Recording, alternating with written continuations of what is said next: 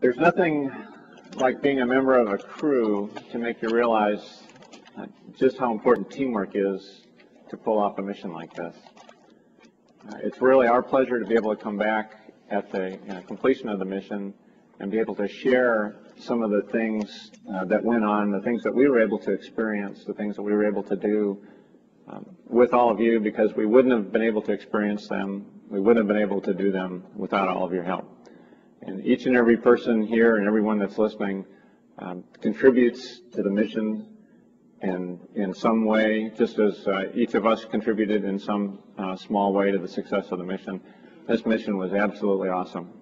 Uh, I can't tell you how proud I am of uh, all of you for the hard work that you did, echoing Mr. Abbey's uh, comments about uh, how you were working under adverse conditions with the, uh, the threat and the specter of the furlough uh, hanging over your heads.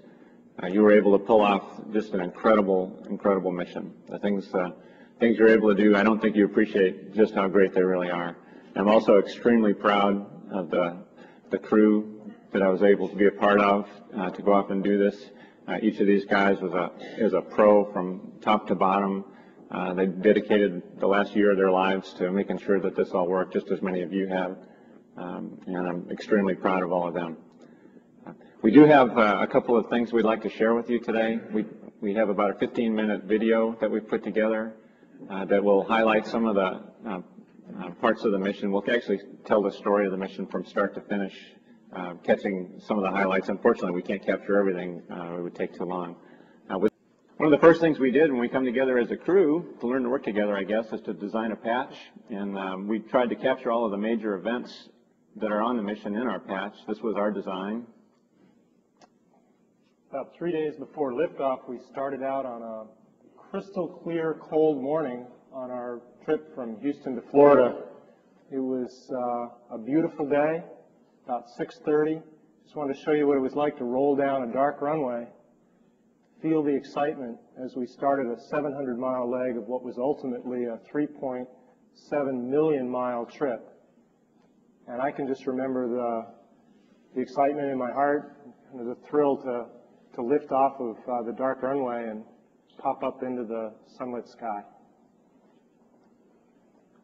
SOHO steht für Sonnen- und Heliosphärenobservatorium, denn der Satellit soll die letzten großen Geheimnisse der Sonne erforschen. Die Kosten von rund 1,4 Milliarden Mark tragen je zur Hälfte die Europäische Raumfahrtagentur ESA und die amerikanische NASA. Problemlos schoss die Rakete Atlas II mit ihrer 640 Millionen Mark teuren Fracht in den Nachthimmel von Florida. Anderthalb Millionen Kilometer wird sie Soho der Sonne näher bringen. Der Satellit soll dann die genauesten Bilder von der Sonne aufnehmen, die je gemacht wurden. Geparkt wird er an der Stelle, an der sich die Anziehungskraft von Sonne und Erde aufheben. So kann die Sonne in ständigem Tageslicht beobachtet werden. Die Instrumente von Soho sind so präzise, dass sie selbst in der Mitte eines Wirbelsturmes ein 500 Kilometer entferntes Flüstern aufnehmen. Dadurch sollen die Eruptionen auf der Sonne erforscht werden. Sie verursachen magnetische Stürme, die die Kommunikation und elektronische Geräte auf der Erde stören. Zwei Jahre lang wird Soho mindestens forschen. Dann hofft man mehr über den Planeten zu wissen, der für das Leben auf der Erde sorgt. Auch genauere Wettervorhersagen sollen dadurch möglich werden. Located 8 light years, or 108 trillion miles from our perch in the cosmos, the brown dwarf was spotted by a pair of telescopes atop Mount Palomar in California and the Hubble Space Telescope, which floats atop our atmosphere. Too cool to burn like the sun, too hot to be considered a planet, brown dwarfs were the focus of a 30-year search by astronomers. The newly discovered dwarf looks a lot like Jupiter, but is perhaps 50 times more massive. An unprecedented mission to learn more about Jupiter will reach a climax next week. After a six-year, 2.3 billion mile journey, NASA's Galileo space probe will arrive at the huge planet, enter its orbit, and on Thursday, drop a probe into its cloud-obscured atmosphere. Scientists say it will likely revolutionize their understanding of Jupiter and its moons.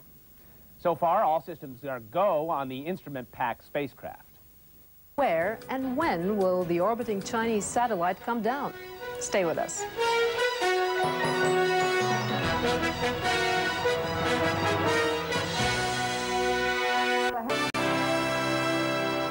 Welcome to Mission Control for the Galileo spacecraft, NASA's Jet Propulsion Laboratory in Pasadena, California. Hello, I'm Miles O'Brien, and this is a special edition of Science and Technology Week. This past week, the Rio Galileo completed its two and a third billion mile journey to the planet Jupiter. And like clockwork, its probe dove into the atmosphere of the planet, and rockets fired, putting the mothership into a Jovian orbit. Not bad for a spacecraft which has had more than its share of misfortune. With 20 years of work on the line, the tension was transparent in the final moments before Galileo's probe phoned home. And when it did, the joy was also transparent.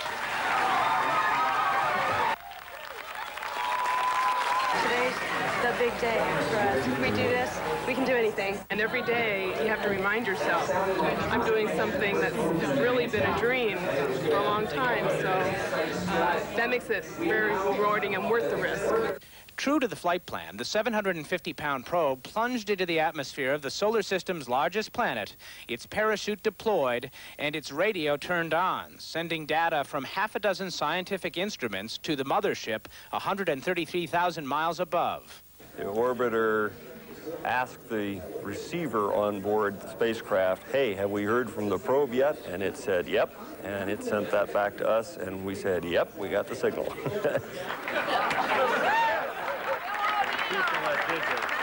A few hours later, the Galileo orbiter gave NASA officials more reason to smile. A crucial rocket burn went off without a hitch, placing the craft into an orbit around Jupiter, which over the next few years will bring it close to three of the planet's largest moons. It took 20 years to get here, and we'll have another two good years Galileo has had its share of problems. Delayed for years and then hobbled by a jammed antenna, the spacecraft earned a reputation for some hard luck. But on the day when some good fortune really counted, it came. The scientists on the probe team are chomping at the bit to get their data. As it turns out, Jupiter isn't the only planet with large chunks of hardware crashing into it. The same thing could happen here on Earth this spring. A Chinese satellite the size of a small car is getting closer and chances are it could fall to Earth in one piece. But fear not, the U.S. military is watching closely to see when and where it might hit Earth. Deep beneath Cheyenne Mountain in Colorado Springs at the U.S. Space Command Control Center, they realized the satellite was destined to fall a few months ago. We saw that uh, it was moving closer and closer to the Earth. Uh, and actually, if you want to use the term, uh, its orbit was beginning to degrade. It is the path of a failed Chinese military reconnaissance satellite. About the size of a Volkswagen Beetle, the two-ton craft is in an oblong orbit, which brings it as close as 97 miles above the Earth's surface. Moving at 17,000 miles an hour, it makes a revolution about every 90 minutes. If it gets below 87.5 minute revolution, that's when it's going to start actually re-entering the atmosphere. Each year, Space Command tracks about 100 man-made objects which fall out of orbit. In nearly every instance, the debris is incinerated as it enters the Earth's atmosphere. But the Chinese satellite, which is dropping out of orbit right now, was designed to preserve and return its payload of exposed film. So it is equipped with a heat shield, which increases its chances of surviving re-entry intact. And larger objects which aren't shielded can also survive the planetary plunge. In July of 1979, remnants of NASA's Skylab pounded into the Australian outback. The year before, debris from a nuclear-powered Soviet satellite fell across northern Canada. No one was hurt in either incident. The Chinese satellite is equipped with a parachute, and there's a slim chance it may deploy. But even if the craft takes an unarrested nosedive, chances are good it will do no harm, because most of our planet is covered by water. My sister-in-law asked me if I was concerned about this VW-sized object. I said, no, I'm much more concerned about the VW-sized objects that pass me every day, you know, going down Interstate 25.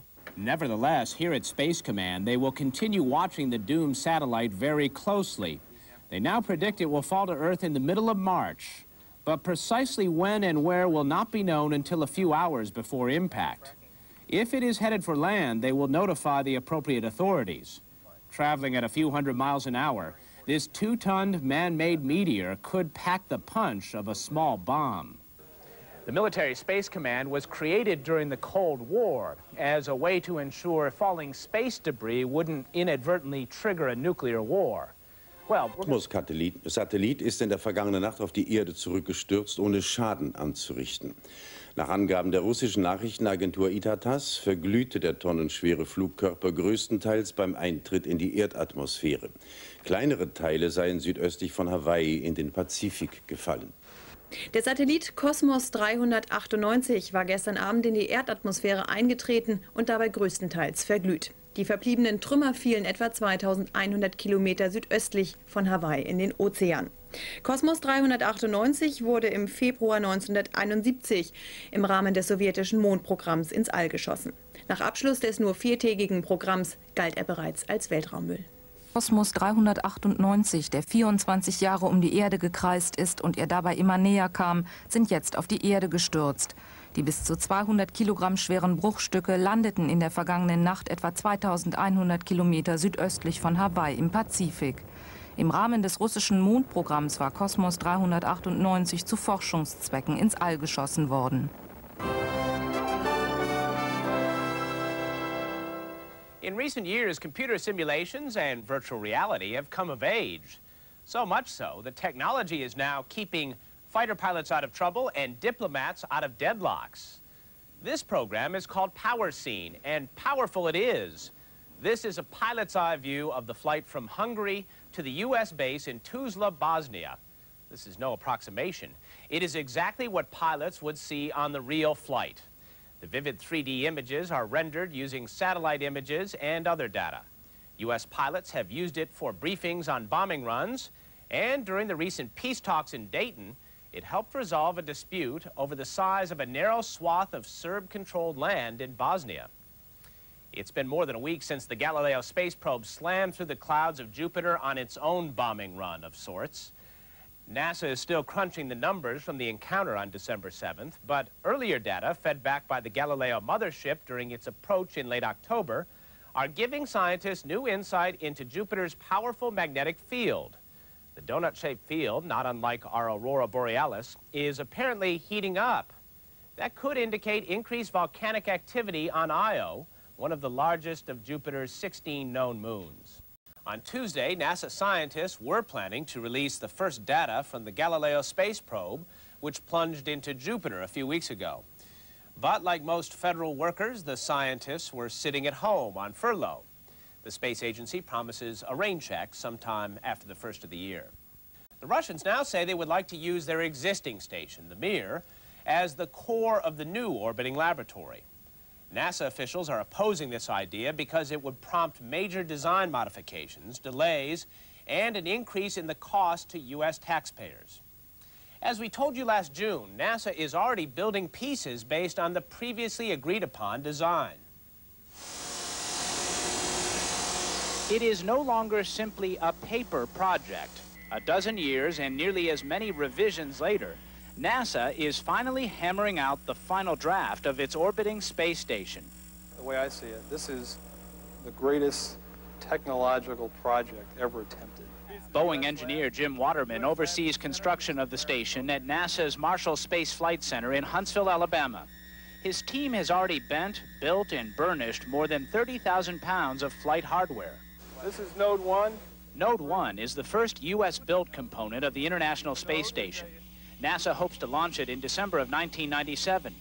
It is the first to fly for good reason. The node is a um, is like a connector block. I equate it to the little wooden block in the Tinker Toy set where you plug in sticks. So this is the little wooden block. It's where all the modules will connect on the International Space Station.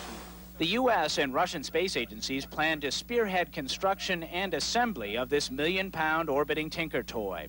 They are joined by the Japanese, Europeans, and Canadians, all planning to build their own components in laboratories. NASA estimates it will take 34 launches, at least 20 of them shuttle missions, to get all the building supplies and Astro workers to this far-flung construction site. Putting a man on the moon was easy. Uh, making this all fit together for the first time in space is a very, very complex operation. NASA and Boeing are sorting through the engineering complexities by logging lots of hours working on space station mock-ups in tanks which simulate weightlessness. And they are relying heavily on computer-aided design to try and ensure all the pieces will fit together. We can simulate the integration activity of the station. We can simulate the assembly of the station all before the hardware hits the factory floor. And more importantly, before the hardware hits orbit, where it really has to work. According to the current plan, the Russians will launch the first piece of the International Space Station, a propulsion module, in November of 97. A fireball appeared over central Japan during daylight hours on Sunday. Hundreds of residents in Tokyo and its suburbs called the police, fire stations and weather observatories after spotting the object. Witnesses say that the glittering object raced across the sky, accompanied by loud noise and white smoke. Officials are now checking to see if the object was a meteorite. There were no reports of an explosion or injuries. A teen later found what appeared to be a fragment of the flying object after seeing it fall about 50 meters ahead of his car. Zunächst für ein UFO hielten, entpuppte sich als ein nur 62 Gramm schwerer Steinmeteorit. Der Himmelskörper prallte etwa 60 Kilometer nordöstlich von Tokio auf die Erde. Anwohner hatten zuvor einen lauten Knall gehört. So, und jetzt schauen wir zum Schluss auch noch mal über den großen Teich nach Amerika. Das ist ein Bild von heute Nachmittag. Amerika ist uns ja um einige Stunden hinterher, was die Tageszeit angeht. Dort ist also die Sonne erst aufgegangen. Und wir sehen hier gerade noch Florida. Sie haben gehört, der Blizzard ist über Amerika hinweggefegt. Ist ordentlich Kaltluft von Norden nach Süden geströmt. Man sieht es hier über dem Golf von Mexiko, haben sich eine Menge Wolken entwickelt. Und die Kaltluft, die hat jetzt hier so die Südspitze von Florida erreicht. Allerdings ist das Tief seit gestern nicht sehr weit gezogen. Das heißt, es wird also teilweise auch noch Schnee bringen in den USA.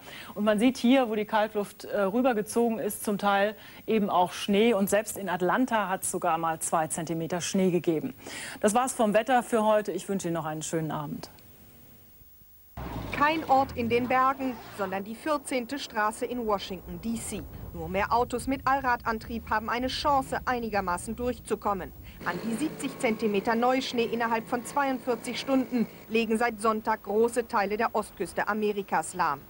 Erst der Kongress, dann die Natur. Hunderttausende von Bundesangestellten können weiterhin nicht zur Arbeit, denn nach dem politisch verordneten Zwangsurlaub versperrt ihnen nun die höhere Gewalt den Weg zur Arbeit.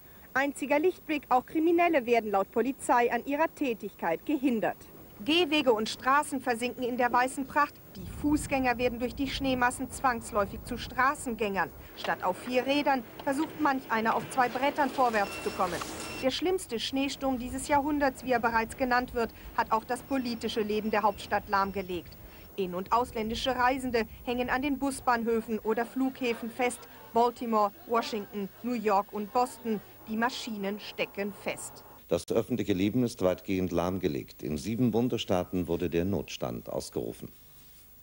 Für sie war es ein großer Spaß, per Ski am Weißen Haus vorbei. Aber ansonsten brachte der Jahrhundert Blizzard vor allem Probleme.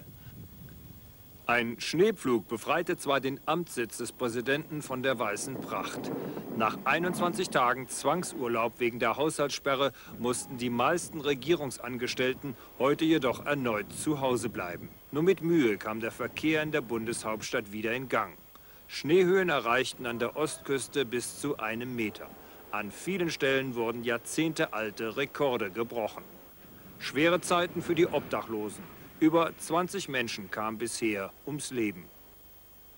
Nichts geht mehr auf den Flughäfen der Ostküste. Zehntausende mussten die Nacht in den Abfertigungsgebäuden verbringen. Und auch New Yorks Straßen wurden zu Fußgängerzonen. Erstmals seit 18 Jahren hatten die Schulen geschlossen und auch die Vereinten Nationen machten dicht. Hier in Washington ist der Schneesturm erst einmal vorbei, aber die Neuengland-Staaten müssen mit weiteren Schneefällen rechnen. Und es wird noch Tage dauern, bis sich das Leben hier an der Ostküste völlig normalisiert haben wird. Ja, heute wieder der Blick über den großen Teich. Den amerikanischen Kontinent kann ich Ihnen allerdings nicht zeigen. Der liegt noch im Dunkeln. Das Bild ist etwas früher aufgenommen worden als gestern. Dort ist also noch Nacht zu dieser Zeit. Aber wir sehen hier die Vordergrenze der, des Tiefs das also diesen ganzen Schnee in Amerika gebracht hat. Und wenn wir hier weiter rüberschauen auf den Atlantik, dann kann man hier gerade noch so die Grenze von Spanien erkennen. Und ich schalte jetzt mal auf das nächste Bild und gehe mal rüber. Da sieht man hier diese Vordergrenze der Wolken. Das ist also das Tief, das Schneetief von Amerika. Davor rauscht hier noch mal kräftig Kaltluft nach Süden. Und hier in Spanien wird es auch wieder einiges an Regen bringen. Aber auch in den nächsten Tagen wird sich das ganze System nicht viel weiter nach Osten bewegen. Das hatte ich ja schon gesagt. Das Das heißt also, die Kaltluft wird immer draußen auf dem Atlantik bleiben und bei uns ändert sich wenig. Das war's für heute. Schönen Abend wünsche ich Ihnen noch. Der Tag nach dem großen Blizzard. Nun heißt es schaufeln, schaufeln, schaufeln. Wege aus den Häusern, Bürogebäuden und Geschäften müssen freigemacht werden. Armadas von Schneepflügen sind unterwegs. Der Bewegungsfluss muss wieder in normalen Bahnen verlaufen.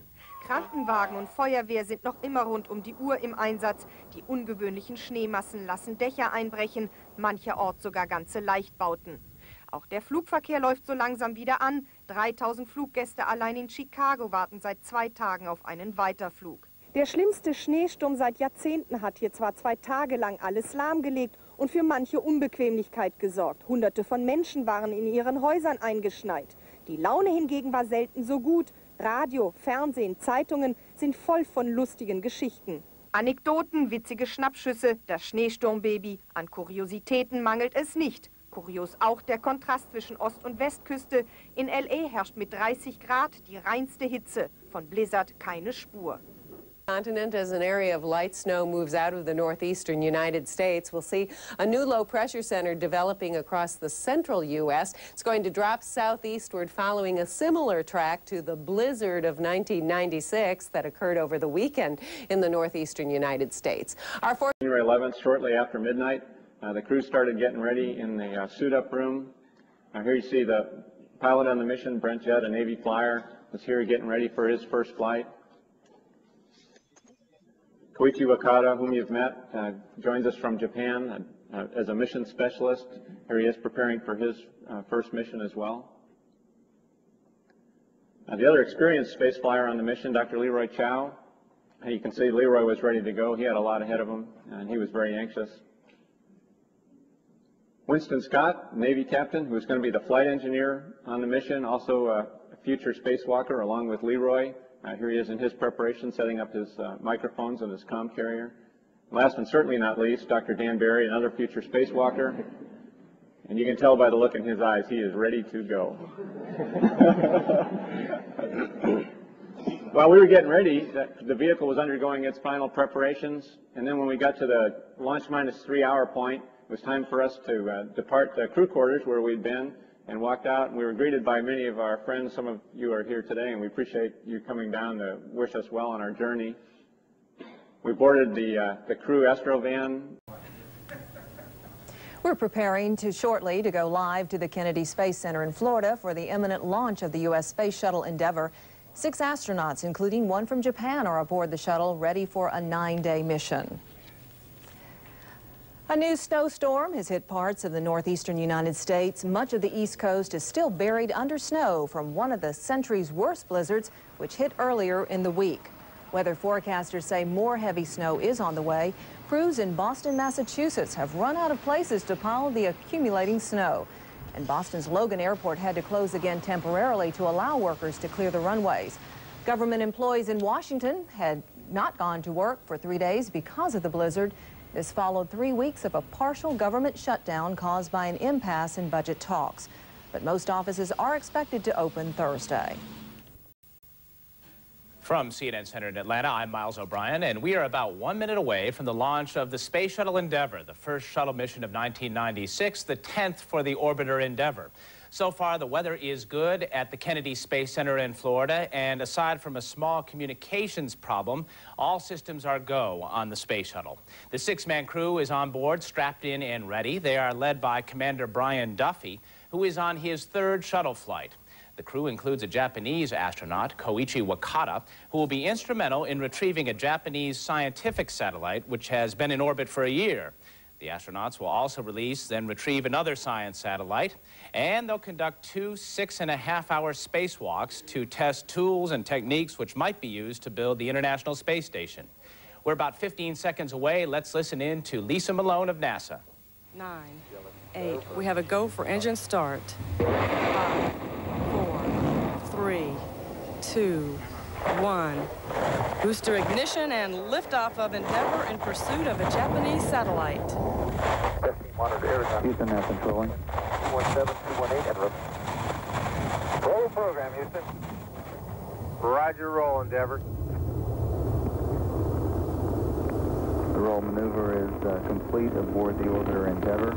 The orbiter is now in a heads-down position on course for 28.5 degree, 250 nautical mile orbit in pursuit of the Space Flyer unit for rendezvous and capture on Saturday morning.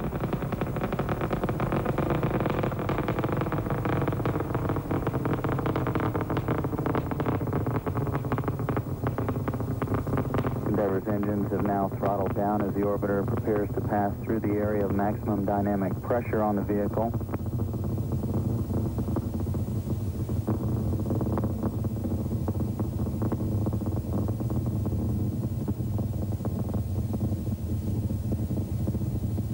Three main engines now throttling back up.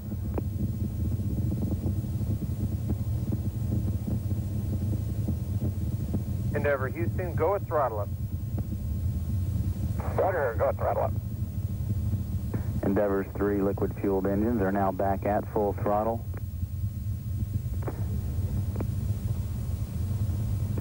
The orbiter is now downrange from the Kennedy Space Center of 10 nautical miles. The orbiter is traveling 2,600 feet per second, or about 1,700 miles per hour. The altitude is passing through 90,000 feet.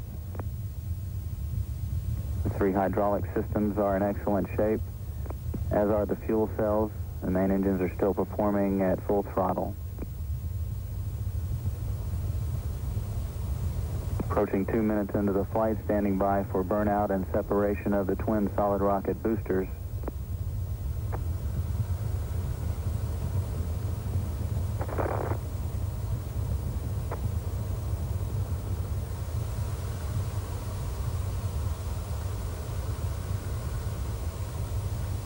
Shuttle Endeavour's solid rocket boosters have separated from the orbiter. They do the lion's share of lofting the shuttle into orbit.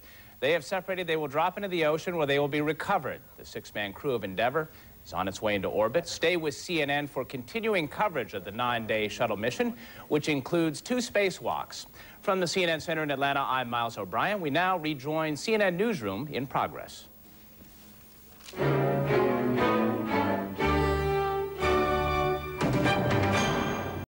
Endeavour ist wieder im All. Der Flug ist der erste von acht geplanten Shuttle-Missionen in diesem Jahr. Die Raumfähre war mit 23 Minuten Verspätung in Cape Canaveral gestartet. Ursache waren Kommunikationsprobleme. An Bord der Fähre sind sechs Astronauten, fünf Amerikaner und ein Japaner. Neun Tage werden sie im All bleiben. In dieser Zeit soll ein im März vergangenen Jahres ausgesetzter japanischer Satellit wieder zurückgeholt werden. Höhepunkt dieses Shuttlefluges werden zwei Weltraumspaziergänge sein.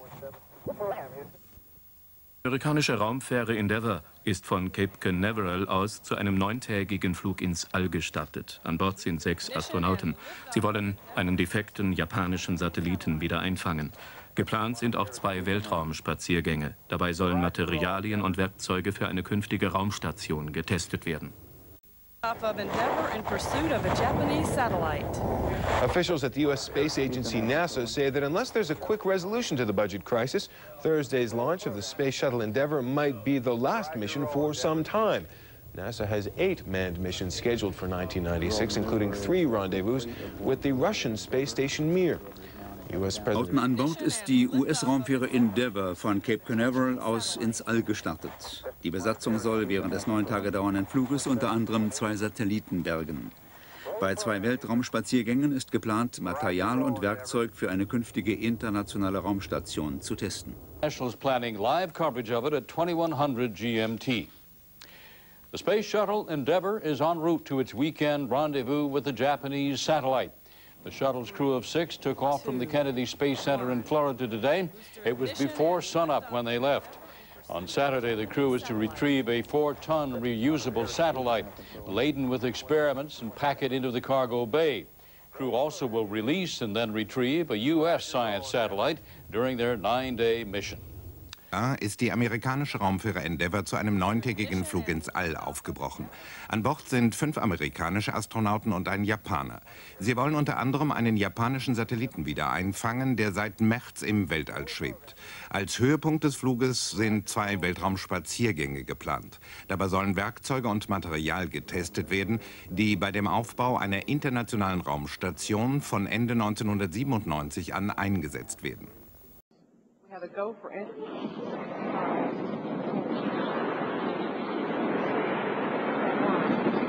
Booster ignition and liftoff of Endeavour in pursuit of Japanese satellite. Houston, now controlling. 1718. Roll program, Houston. Roger, roll, Endeavour.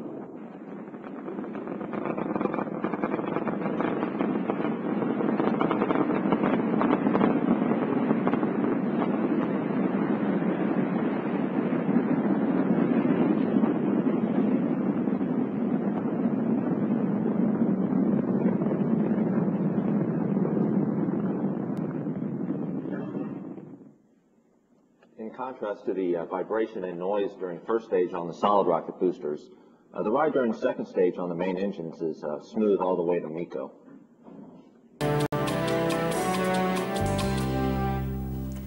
The U.S. Space Shuttle Endeavour has had a close encounter with one of the 7,000 pieces of space debris orbiting Earth. Earlier Friday, it had to fire its jets to get out of the way of a dead Air Force satellite. Although the shuttle's six-man crew was never in any danger during the incident, it isn't the first time this has happened, and probably won't be the last. Earlier, CNN's Miles O'Brien spoke with the crew of the Endeavour. I know recently NASA Administrator uh, Daniel Goldin was actually critical of the pace of new rocket development within NASA. There really hasn't been a ground-up uh, new rocket developed uh, in the U.S. Uh, recently. Uh, would you be among those that would call for such uh, efforts, especially in light of the budget constraints in Washington?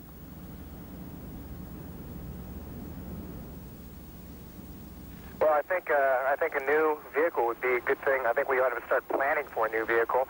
We don't need one right now. The space shuttle's been doing fine, uh, even though a lot of the technology is what you would call by today's standards old. Um, it's proven to be a very reliable, reliable vehicle again, and we have no need to immediately replace it. But I think we ought to start looking at um, at, at a new vehicle. By the way, for our viewers, that's Mission Specialist uh, Leroy Chiao. And let me uh, shift into the spacewalks which are planned here. I know you will be involved in uh, two of the spacewalks. There are two, each of them six and a half hours long. Uh, the object is to uh, look at tools, techniques, and equipment which might be used to build the International Space Station. Um, I, you almost get the sense that uh, NASA is doing its best to get as much spacewalking experience in as possible so that you have an experienced group of um, astro construction workers when it comes time to build that space station. Is that what's going on? Well, that's certainly part of it, Miles. Uh, you know, we'd like to get some folks' experience so that we can have that experience to draw upon when we do get into full swing of uh, station assembly. Uh, Winston Scott behind me, he's uh, he's going to do the second EVA with me, and Dan Barry, who's working on the mid deck right now, will do the first one with me, and that'll be three new uh, EVA people on this flight uh, that have, get some experience. But uh, along with that, we're also, as you mentioned, looking at the design concepts, building concepts, and maintenance concepts for the space station. This is very critical. The, uh, the results that we get from these flight tests are going to feed directly right back into the space station program to make sure, you know, and they'll tweak what they have to tweak to make sure that we get a buildable and a, and a reliable station. Let's move over to uh, Winston Scott. I know when you're on your spacewalk, you're going to uh, spend a little bit of time in the shade of the shuttle. Uh, 100 degrees below zero Fahrenheit are the projected temperatures. And I suppose folks in the Northeast concerned about a blizzard should think about that for a moment. Tell me about the thermal modifications on this spacesuit. Are you uh, satisfied that you're going to be nice and toasty up there? You know, Miles, as a matter of fact, I am. I'm very confident that I'm going to be nice and toasty. Uh, the modifications have been worn before. They've looked at uh, how the other guys felt when they wore them a, a couple of uh, missions before me. They made improvements, and I'm uh, really not that concerned about it. In fact, I'm looking forward to it. The chief goal of Endeavour's nine-day mission is the capture of a Japanese space satellite that is planned for Saturday. His name isn't a household... Closer to state-of-the-art telephone service Friday. Europe's Arianespace is set to launch Malaysia's first satellite, beginning what will be an explosion of orders from Asian countries. Asia is the place to be at the moment. If you're in the satellite business, you go to Asia. It's such a large market, and TV's just starting in a big way there with satellite television, then they've got to launch satellites. The boom is encouraging rocket launching companies to spend hundreds of millions of dollars to increase market share. The industry is also consolidating. Lockheed Martin's recent move to take over Loral space arm, the latest example. Boeing has joined some European firms to offer a novel and possibly cheaper idea of a floating launch pad, while McDonnell Douglas is quickly updating its popular Delta rockets. But those U.S. giants face growing competition from Russia, China, and India.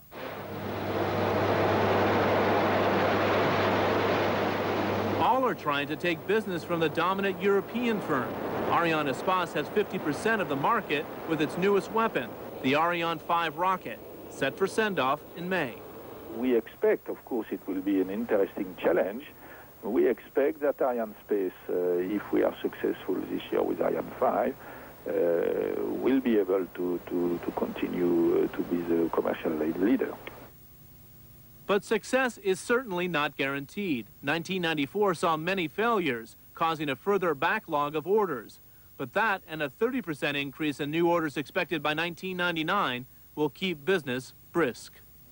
However, it may lead to a shortage of launch date availabilities just when demand is expected to rocket forward. Shuttle Endeavour has been playing cat and mouse with a couple of satellites. It dodged a defunct U.S. Air Force satellite and chased down a Japanese satellite to be retrieved on Saturday. CNN's John Zarrella reports the Endeavour mission won't be all cat and mouse, though. There are some rats in the mix as well. Hundreds of years from now, if humans travel to distant planets, rats may be largely responsible for understanding how long durations in space affect the body. Booster ignition and liftoff of Endeavour in pursuit. As it lifted off from the Kennedy Space Center, the shuttle Endeavour carried dozens of rats in its middeck, all babies between 5 and 15 days old. If you don't have the influence of gravity at such and such an age, even when the animal comes back to Earth, it will be, if you will, a, a space animal, and it will never be able to readapt its nervous system to, to Earth. The rat astronauts had to be age-specific because scientists believe there are critical periods in neurological development. Within three weeks, rats develop a nervous system it takes years to develop in a human. So only to be in, on a shuttle, let's say, for 10 days, uh, in a human's terms, is 10 days out of 70 years. In a rat's terms, it's 10 days out of three years, so you get a, this very accelerated developmental period. Because of the potential for shuttle launch delays and the need for precise rat ages, an animal breeding center outside Germantown, New York, had to breed and continue to breed thousands of rats. Scientists aren't sure what to expect when the rats come back. It's basic science that is going to be done. It's, it's basic science that's going to be looking at how does the brain, which is the most complex organ in the body, how we really don't understand a lot about how the brain develops. An understanding of the brain's workings could help researchers find a cure for paralysis. Scientists believe neurological development in microgravity will be different than on Earth. In the absence of gravity, strong leg muscles might not be necessary. Humans traveling to distant planets in the future would have children born along the way. These rat studies may provide insights into how the human body might develop differently in space.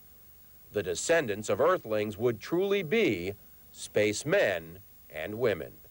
John Zarrella, CNN, at the Kennedy Space Center in Florida.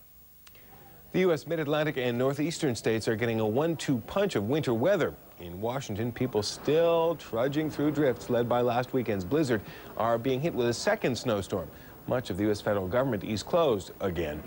We'll have more of the world's news after Flip Spiceland has a look at the world's weather. We are, for a change, finally going to see some calm weather across much of the United States. This is a vigorous storm moving up the eastern seaboard of the U.S. with some snowfall associated with it. Another cold front will stretch down through eastern Canada into the Great Lakes region. We'll find some light snow scattered along that frontal boundary. Temperatures in the western United States have been very, very warm. As we move on out to...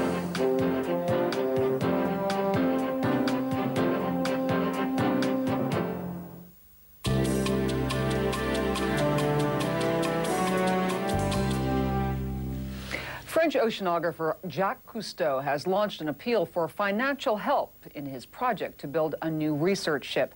The original ship, Calypso, sank in Singapore harbor on Monday. While Cousteau had long planned to replace the vessel with a high-tech Calypso 2, he now says the ship should belong to everyone. CNN's Siobhan Darrow has more.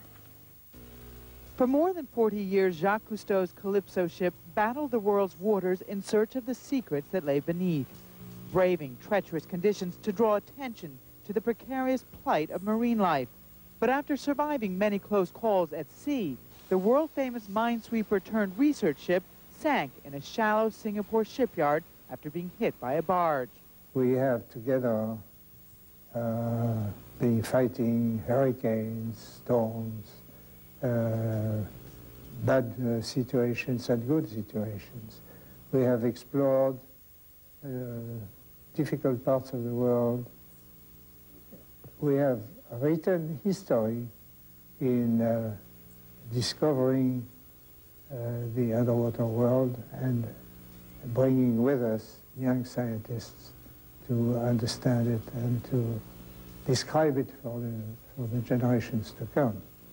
But the 85-year-old French oceanographer, while saddened by the loss of a ship that was more like a friend, is, as always, looking to the future.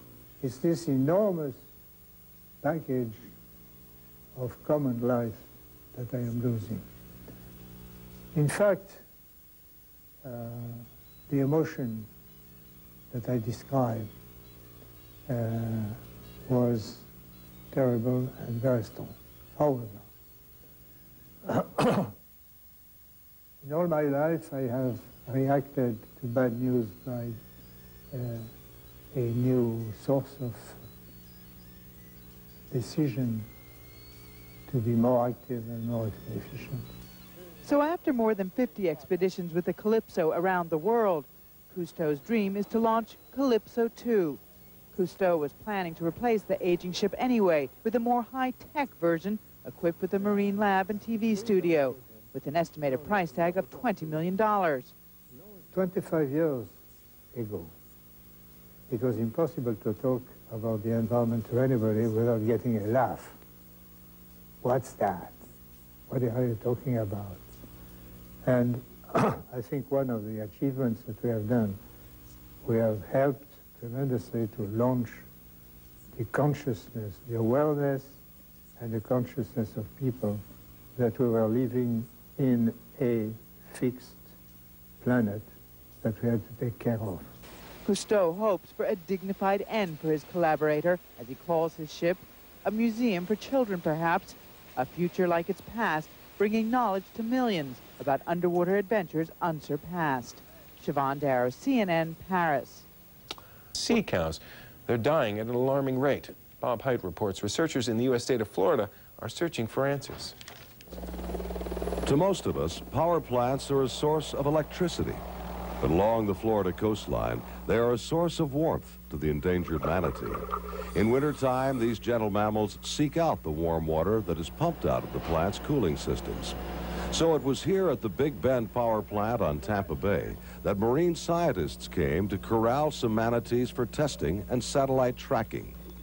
The annual statewide aerial survey indicates there are only some 1,800 manatees left in Florida, and in 1995, manatee mortality was up with over 200 reported deaths.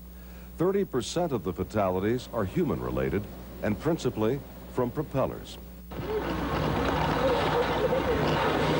While this effort may appear violent, the manatees are unharmed as they are brought up on Big Bend's soft mud bank.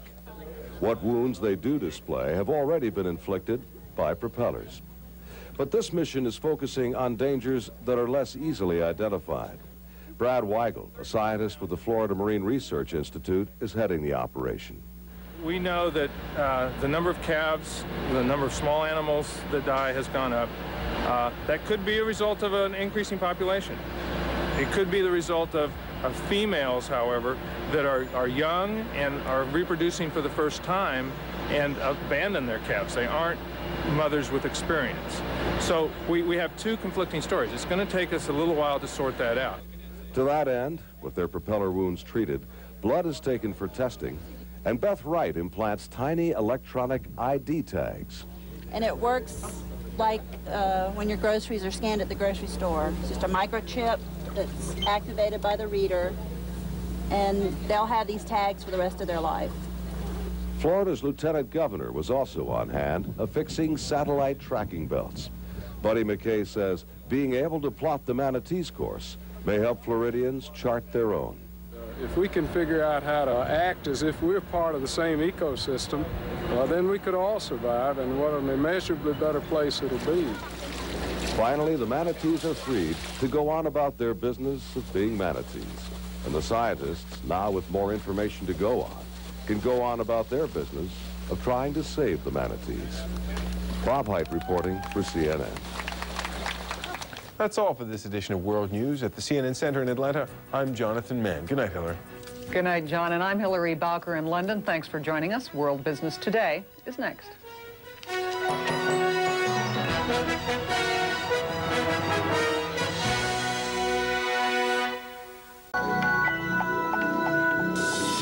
What goes up must come down. American balloonist Steve Fossett found the old saying to be true sooner than he expected.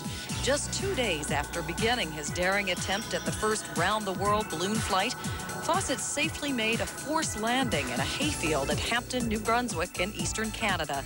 The millionaire soybean trader who invested $300,000 in the project said he had to end the trip suddenly due to technical problems.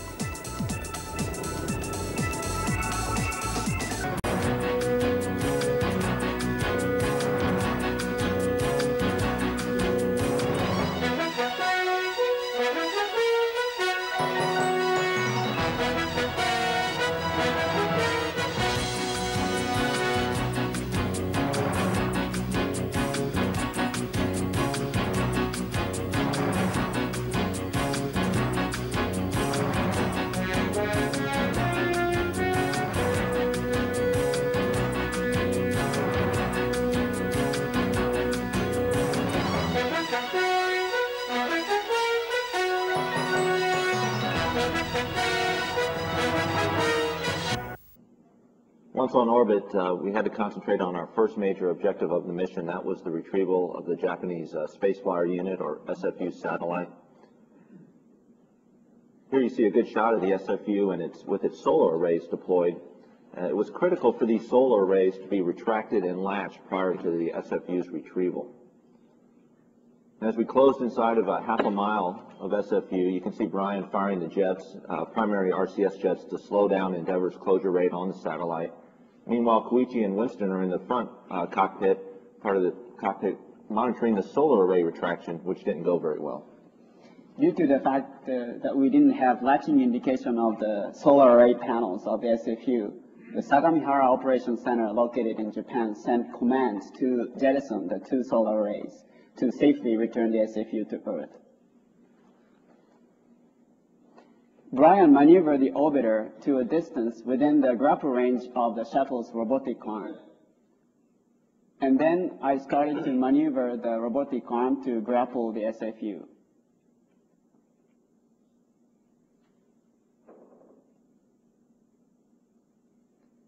This is the moment of the capture of the SFU, and this was the end of the 10-month voyage of the Spaceflyer unit since it had been launched by a Japanese H-2 rocket uh, last March.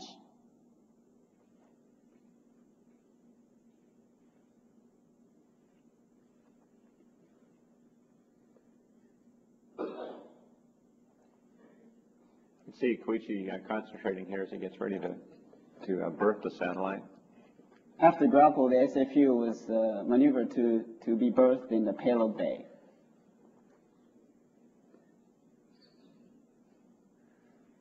Looks like he's ready to slam dunk that one. and then orbiter's electrical power was supplied to the SFU's uh, heater system uh, through this electrical umbilical.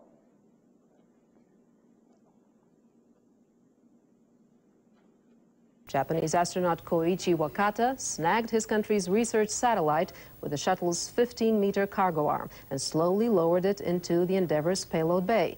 The retrieval was not without its hitches. Astronauts were forced to cut loose the satellite's solar array panels when they failed to lock in place. The Japanese satellite was then maneuvered into a new position so the scrap panels would not hit the Endeavour.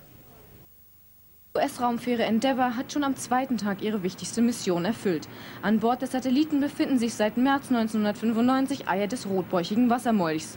Die Wirkung der Schwerelosigkeit auf die Eier soll nun in Japan festgestellt werden. Weiteres Ziel der Reise ist das Aufsetzen und Wiedereinfangen eines US-Forschungssatelliten. An Bord sind Ratten und ihre Jungen. Getestet werden Folgen auf das Nervensystem von den Säugetieren die US-Raumfähre Endeavour nur knapp einem Zusammenstoß mit Weltraumschrott entgangen ist, erfüllte die Mannschaft jetzt ihre wichtigste Aufgabe. Hochkonzentriert manövrierte der japanische Astronaut Kuicho Wakata mit einem Greifarm einen Forschungssatelliten an Bord, der fast ein Jahr lang Daten im Weltall gesammelt hatte. Auf dem Programm der neuntägigen Mission stehen auch noch zwei Weltraumspaziergänge. Den Astronauten der amerikanischen Raumfähre Endeavour ist es gelungen, einen japanischen Satelliten an Bord zu holen. Das komplizierte Manöver dauerte eine halbe Stunde und wurde mit Hilfe eines 15 Meter langen Roboterarms durchgeführt. Der wiederverwendbare Satellit war im März von einer japanischen Trägerrakete ins All befördert worden und wird jetzt mit Forschungsergebnissen nach Japan zurückgebracht. Japanese astronaut Koichi Wakata snagged his country's research satellite with the shuttle's 15-meter cargo arm and slowly lowered it into the Endeavour's payload bay. The retrieval was not without its hitches. Astronauts were forced to cut loose the satellite's solar panels when they failed to lock in place. The Japanese satellite was then maneuvered into a new position so the scrap panels would not hit the Endeavour. Eine europäische Trägerrakete hat in den frühen Morgenstunden zwei Satelliten ins All befördert. Der Start war bereits für den 10. Januar geplant, dann aber wegen technischer Probleme verschoben worden.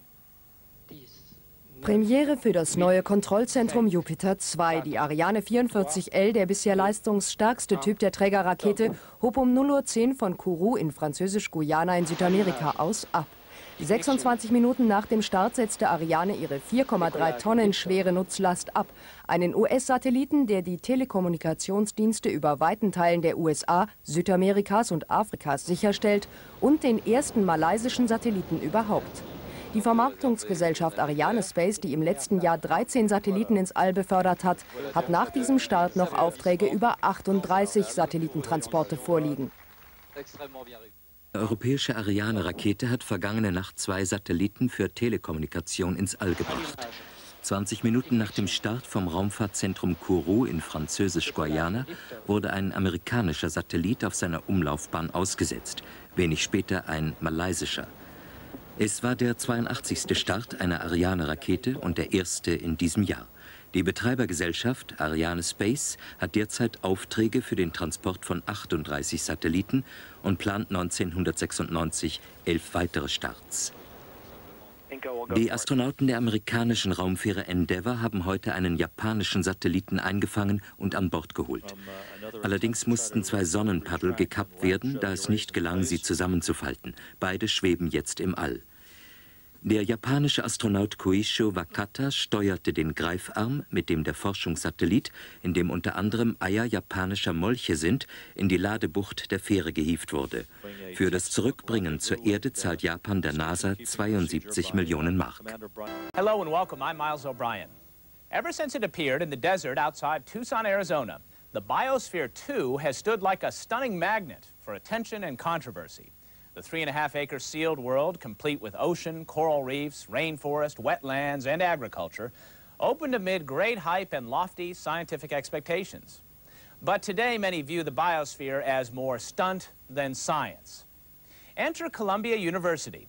The prestigious Ivy League school is now running the biosphere, hoping its reputation isn't already sealed. Mark Bernheimer has the story. No one knew quite what to make of the Biosphere 2 project when its eight inhabitants locked themselves inside the huge steel and glass structure back in 1991. The plan was to live in an entirely self-sustained, isolated environment for two years. But the Biosphere project quickly invited controversy and scientific ridicule. Oxygen systems failed, crops died, and outside supplies were reportedly smuggled in. Now, in an attempt to restore credibility to the project, scientists from Columbia University have been brought in to take over. I don't think we should underestimate what's, what's come before. There's been some misdirection in the project. That's not to say this is not a world-class facility and we don't have world-class scientists here right now, but we do have to do some work, uh, some serious work, and it has to become uh, scientifically rigorous, and it will be. The image makeover comes not a moment too soon for Biosphere 2. Even Hollywood has now gotten into the act of lampooning the project with a new Pauly Shore movie called Biodome. Just because we're stuck in a bubble doesn't mean we can't cause any trouble. It may be some time before biospherians are sent back into the real biosphere. For now, Columbia is using the facility as a giant laboratory to study and teach environmental issues. The research that's conducted here really serves as the, the very best resource, even a backdrop uh, for teachers to teach environmental education, earth sciences, um, and help students learn how to be better steward, stewards of this planet. But will the Biosphere Project ever shake its reputation as a pseudo-scientific, for-profit experiment that failed? Scientists are taking a wait-and-see approach. The fact that we have, you know, a bunch of very good and talented people becoming more and more involved with Biosphere means that the credibility will increase, but, you know, only time will tell, you know, whether or not this whole concept of doing experiments this way really has lasting value.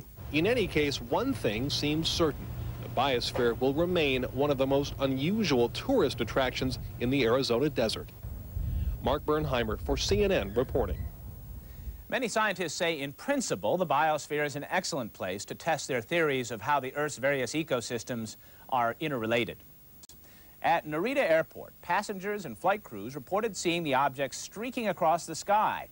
And at least one lucky cameraman was in the right place at the right time. The remains of the meteorite were found about 60 miles northwest of Tokyo. All that was left weighed just over two ounces and was about the size and shape of half an egg. The Space Shuttle Endeavour lit up the pre-dawn sky at Florida's Kennedy Space Center this week.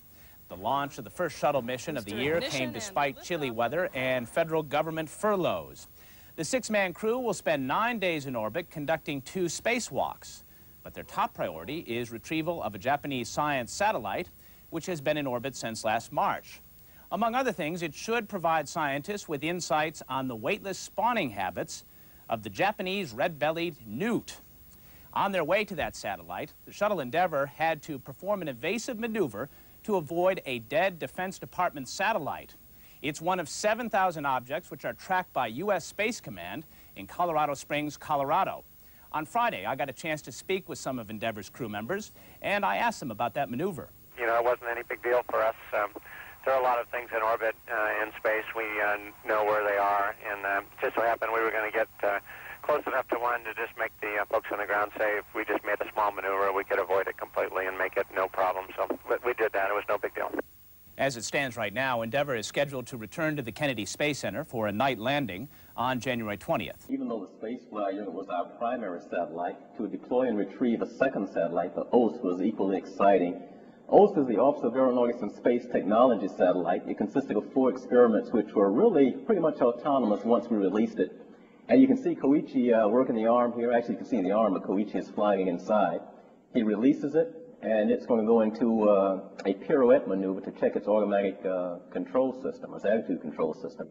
Now, when we were inside the shuttle, of course, we were thinking about how the satellite was going to perform, which is a very technical thing.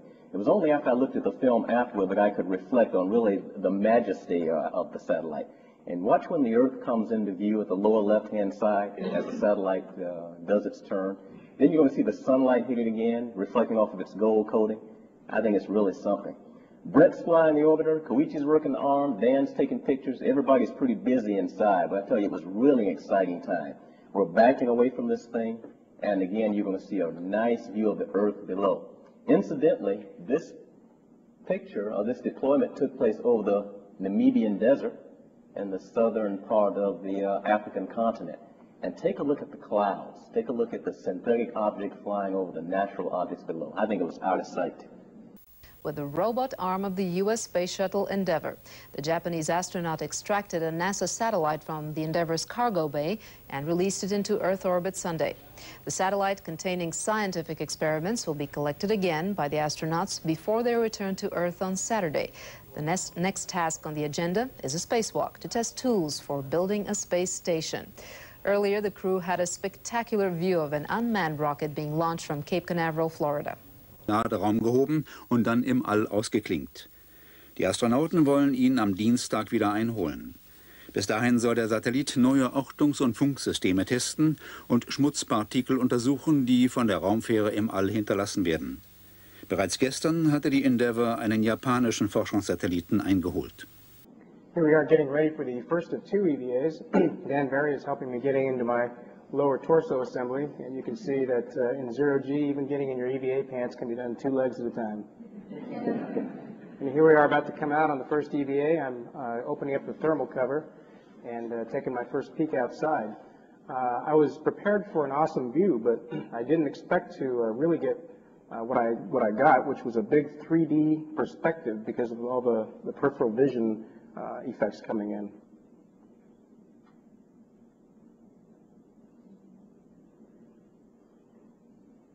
Here Dan's saying, hey, let me out too. On his feet. So you Thanks. Okay, we think uh, it's a good call, Dan. We should have the uh, end effector a roll so as to line the camera with the uh, cam that's aligned with the long axis of the Terra. Right, I agree completely. Looks like a hardware misconfig.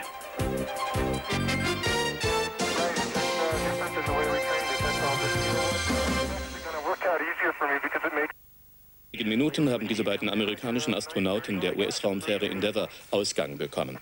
Sechseinhalb Stunden lang sollen sie durch den Weltraum spazieren und dabei neu entwickelte Anzüge ausprobieren. Außerdem testen die Amerikaner Material, das für den Bau einer internationalen Raumstation Ende des Jahres verwendet werden soll. Knapp 310 Kilometer über der Erdoberfläche erprobten sie neue Raumanzüge sowie den Umgang mit Spezialwerkzeugen und einer Arbeitsplattform. Die Gerätschaften sollen nächstes Jahr beim Aufbau der internationalen Raumstation Alpha eingesetzt werden. Deutschland beteiligt sich an dem Projekt mit 1,2 Milliarden Mark. Leroy Chow and Daniel Barry ventured outside the shuttle to practice with new spacesuits and new construction techniques for building a future space station. Back on Earth, astronomers have been studying new clues to the evolution of the universe. Extraordinary pictures taken by the Hubble Space Telescope have been shown to the American Astronomical Society meeting in Texas. Experts say the tiny points of light and colored clouds show several hundred galaxies never seen before. Some of them may have been formed less than a billion years after the Big Bang, the gigantic explosion which many astronomers believe formed the universe containing our solar system. Here we are getting ready for the first of two EVAs. Dan Barry is helping me getting into my lower torso assembly, and you can see that uh, in zero G, even getting in your EVA pants can be done two legs at a time. and here we are about to come out on the first EVA. I'm uh, opening up the thermal cover and uh, taking my first peek outside. Uh, I was prepared for an awesome view, but I didn't expect to uh, really get uh, what I what I got, which was a big 3D perspective because of all the, the peripheral vision effects coming in.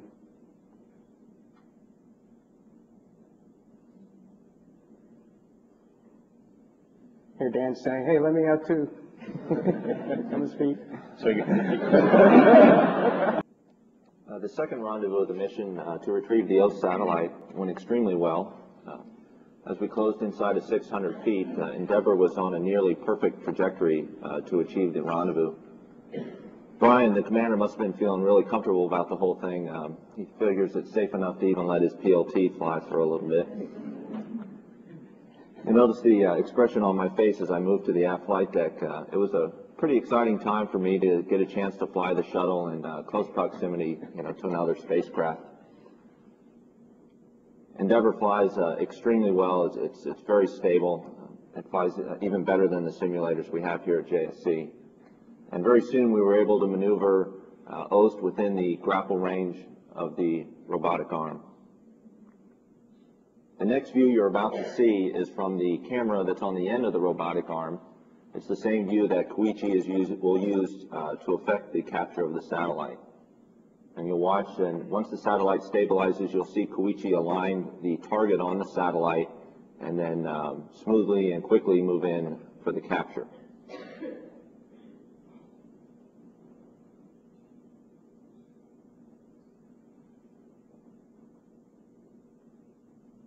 And just like that, the man was two for two, and uh, he very quickly had uh, two satellites uh, tucked safely in the payload bay.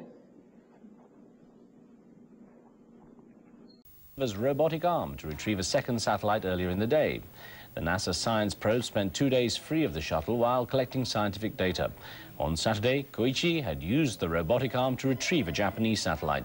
On the ground, Mission Control is monitoring the shuttle's cooling system, which failed on Monday due to ice buildup. Uh, the second rendezvous of the mission uh, to retrieve the OSE satellite went extremely well. Uh, as we closed inside of 600 feet, uh, Endeavour was on a nearly perfect trajectory uh, to achieve the rendezvous. Brian, the commander, must have been feeling really comfortable about the whole thing. Um, he figures it's safe enough to even let his PLT fly for a little bit. You notice the uh, expression on my face as I moved to the aft flight deck. Uh, it was a pretty exciting time for me to get a chance to fly the shuttle in uh, close proximity, you know, to another spacecraft.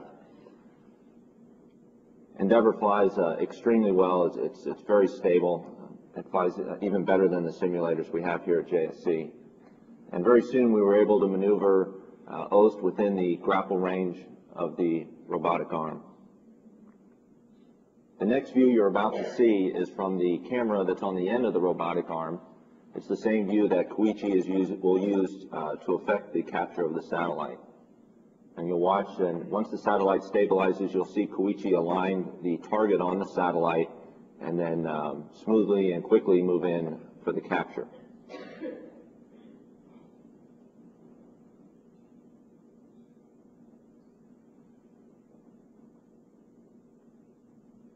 And just like that, the man was two for two, and uh, he very quickly had uh, two satellites uh, tucked safely in the payload bay.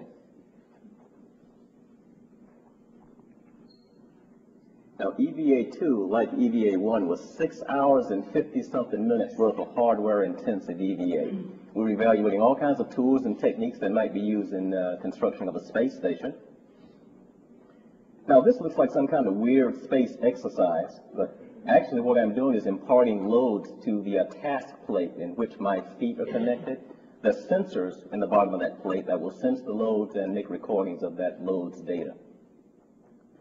As I said, it was hardware intensive. We had electronic cuff checklists, power tools, rigid umbilicals, electrical fluid line connectors, uh, electrical connectors, fluid line connectors, improved helmet lights, you name it, we had it. We had stuff hanging off of us everywhere. We could set off metal detectors from orbit now, one of the highlights of this uh, EVA was billed to be a thermal evaluation to test improvements to the suit. When it's time for the truth to come out, the truth is that I was a bad boy, and I was told to go stand in the corner. So I stood in the corner and got cold all morning. I stood in the corner and got cold all afternoon.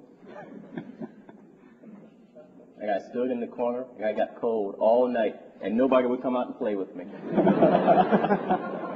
no, in all seriousness, the thermal evaluation worked extremely well, and I think we've got a good suit and ready to go build the space station.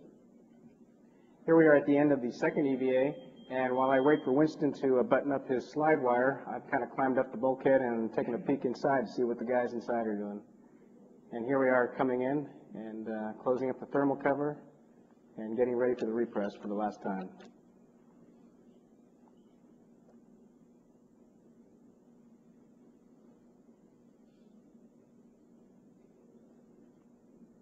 Need to give that thing a good slam.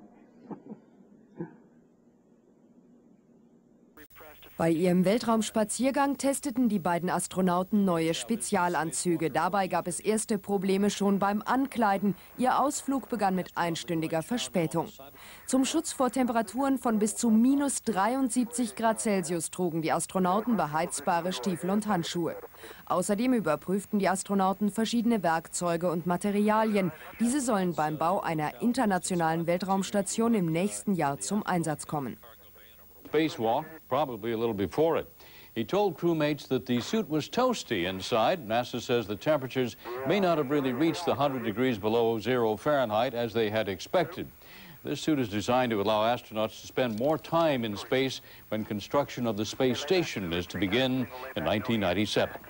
Zwei Astronauten der US-Raumfähre Endeavour probierten sechs Stunden lang neu entwickelte Kälteschutzanzüge aus. Die heizbaren Handschuhe und Thermostiefel machten den Aufenthalt in der Ladebucht erträglich, bei einer Temperatur von minus 73 Grad. Das Urteil der Weltraumspaziergänger kalt, aber nicht unangenehm. California researchers discovered the two new planets about 35 light years from Earth. One orbits a star in the constellation Virgo. The other is in the Big Dipper.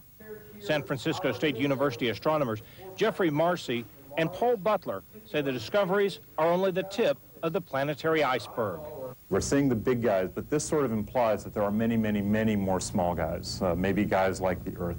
Butler and Marcy are particularly excited because the temperature on one of the planets is thought to be 185 degrees Fahrenheit. That's cool enough for complex molecules to exist and possibly life. What we need now are chemists who are good with organic chemistry, atmospheric phys physics, meteorology. The chemists need to bring all these fields to bear and ask the theoretical question, would indeed life form in the presence of the atmosphere and surfaces of these planets we've found? Just last fall, Swiss astronomers found the first planet outside our solar system and there are signs from observations using the Hubble Space Telescope of another planet orbiting a star known as Beta Pictoris. Uh, this is really the first time we've seen something that could, look, could be very like our own solar system. While the astronomers believe these planets are there, they haven't actually seen them. Instead, they infer their existence by looking for stars that wobble. And it turns out that a star orbited by a planet will wobble in space due to the gravitational pull of the planet as the planet goes around. It's sort of like if you had a bowling ball on the end of a string and you slung that bowling ball around, your body would naturally wobble as you're being tugged on by the bowling ball. Scientists attending the American Astronomical Society meeting in San Antonio also got their first look at never-before-seen galaxies deep in the universe, courtesy of the Hubble telescope. NASA Administrator Dan Goldin said the space agency is committed to developing new telescopes, satellites, sensors, and probes to explore the universe over the next quarter century. In the meantime, some astronomers have a more immediate project. Astronomers believe there are more planets in the universe yet to be found. U.S. astronomers are currently in a race with the Swiss to see who can find them first. Tony Clark, CNN, San Antonio. After two rendezvous, a deploy, two successful EVAs, on Flight Day 8 we had some time to appreciate the beautiful views of the Earth, to take some film to bring back to show you all the depth of the colors and the, the beauty from, from our perspective. We also did some carefully controlled fluid dynamics experiments. The commander said, you better get that and not make a mess of my orbiter.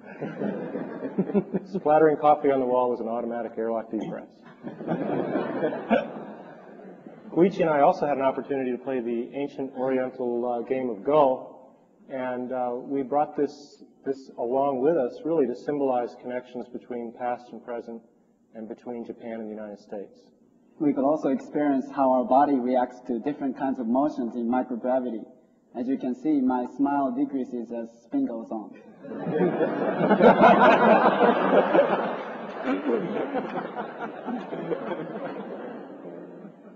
Here's the master of karate, Winston Scott. Look how stable his motions are, even though his feet are not attached to the floor. It's uh, customary in Japan to mark the beginning and end of a large project by filling in the eyes of a Daruma doll. We had already filled in the eye of this Daruma to start the project, and here Koichi and I are getting ready after the retrieval of the SFU to uh, mark the completion of the project. One of the hardest things to do is to say goodbye to a view like this when it's time to come home. Uh, we all took our last gazes, uh, closed the payload bay doors, got in our suits, got ready for the deorbit burn. We Endeavour has been in space nine days. Two of those days were devoted to spacewalks to help astronauts get ready for the building of a space station next year. Weather permitting, Endeavour is scheduled to land just over one hour from now at 7.42 GMT and will bring you live coverage of the landing when it occurs. And that's World News for now. I'm Bettina Lüscher. Thank you for joining us. World Business This Week is coming up next.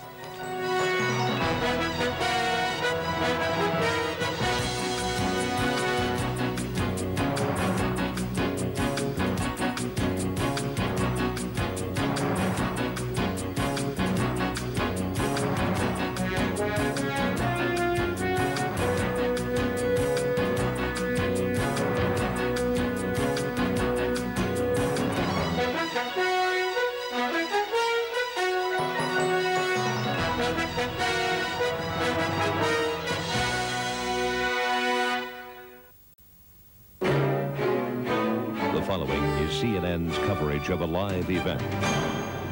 Hello, I'm Bettina Lüscher. We interrupt Earth Matters to bring you live the landing of the Space Shuttle Endeavour.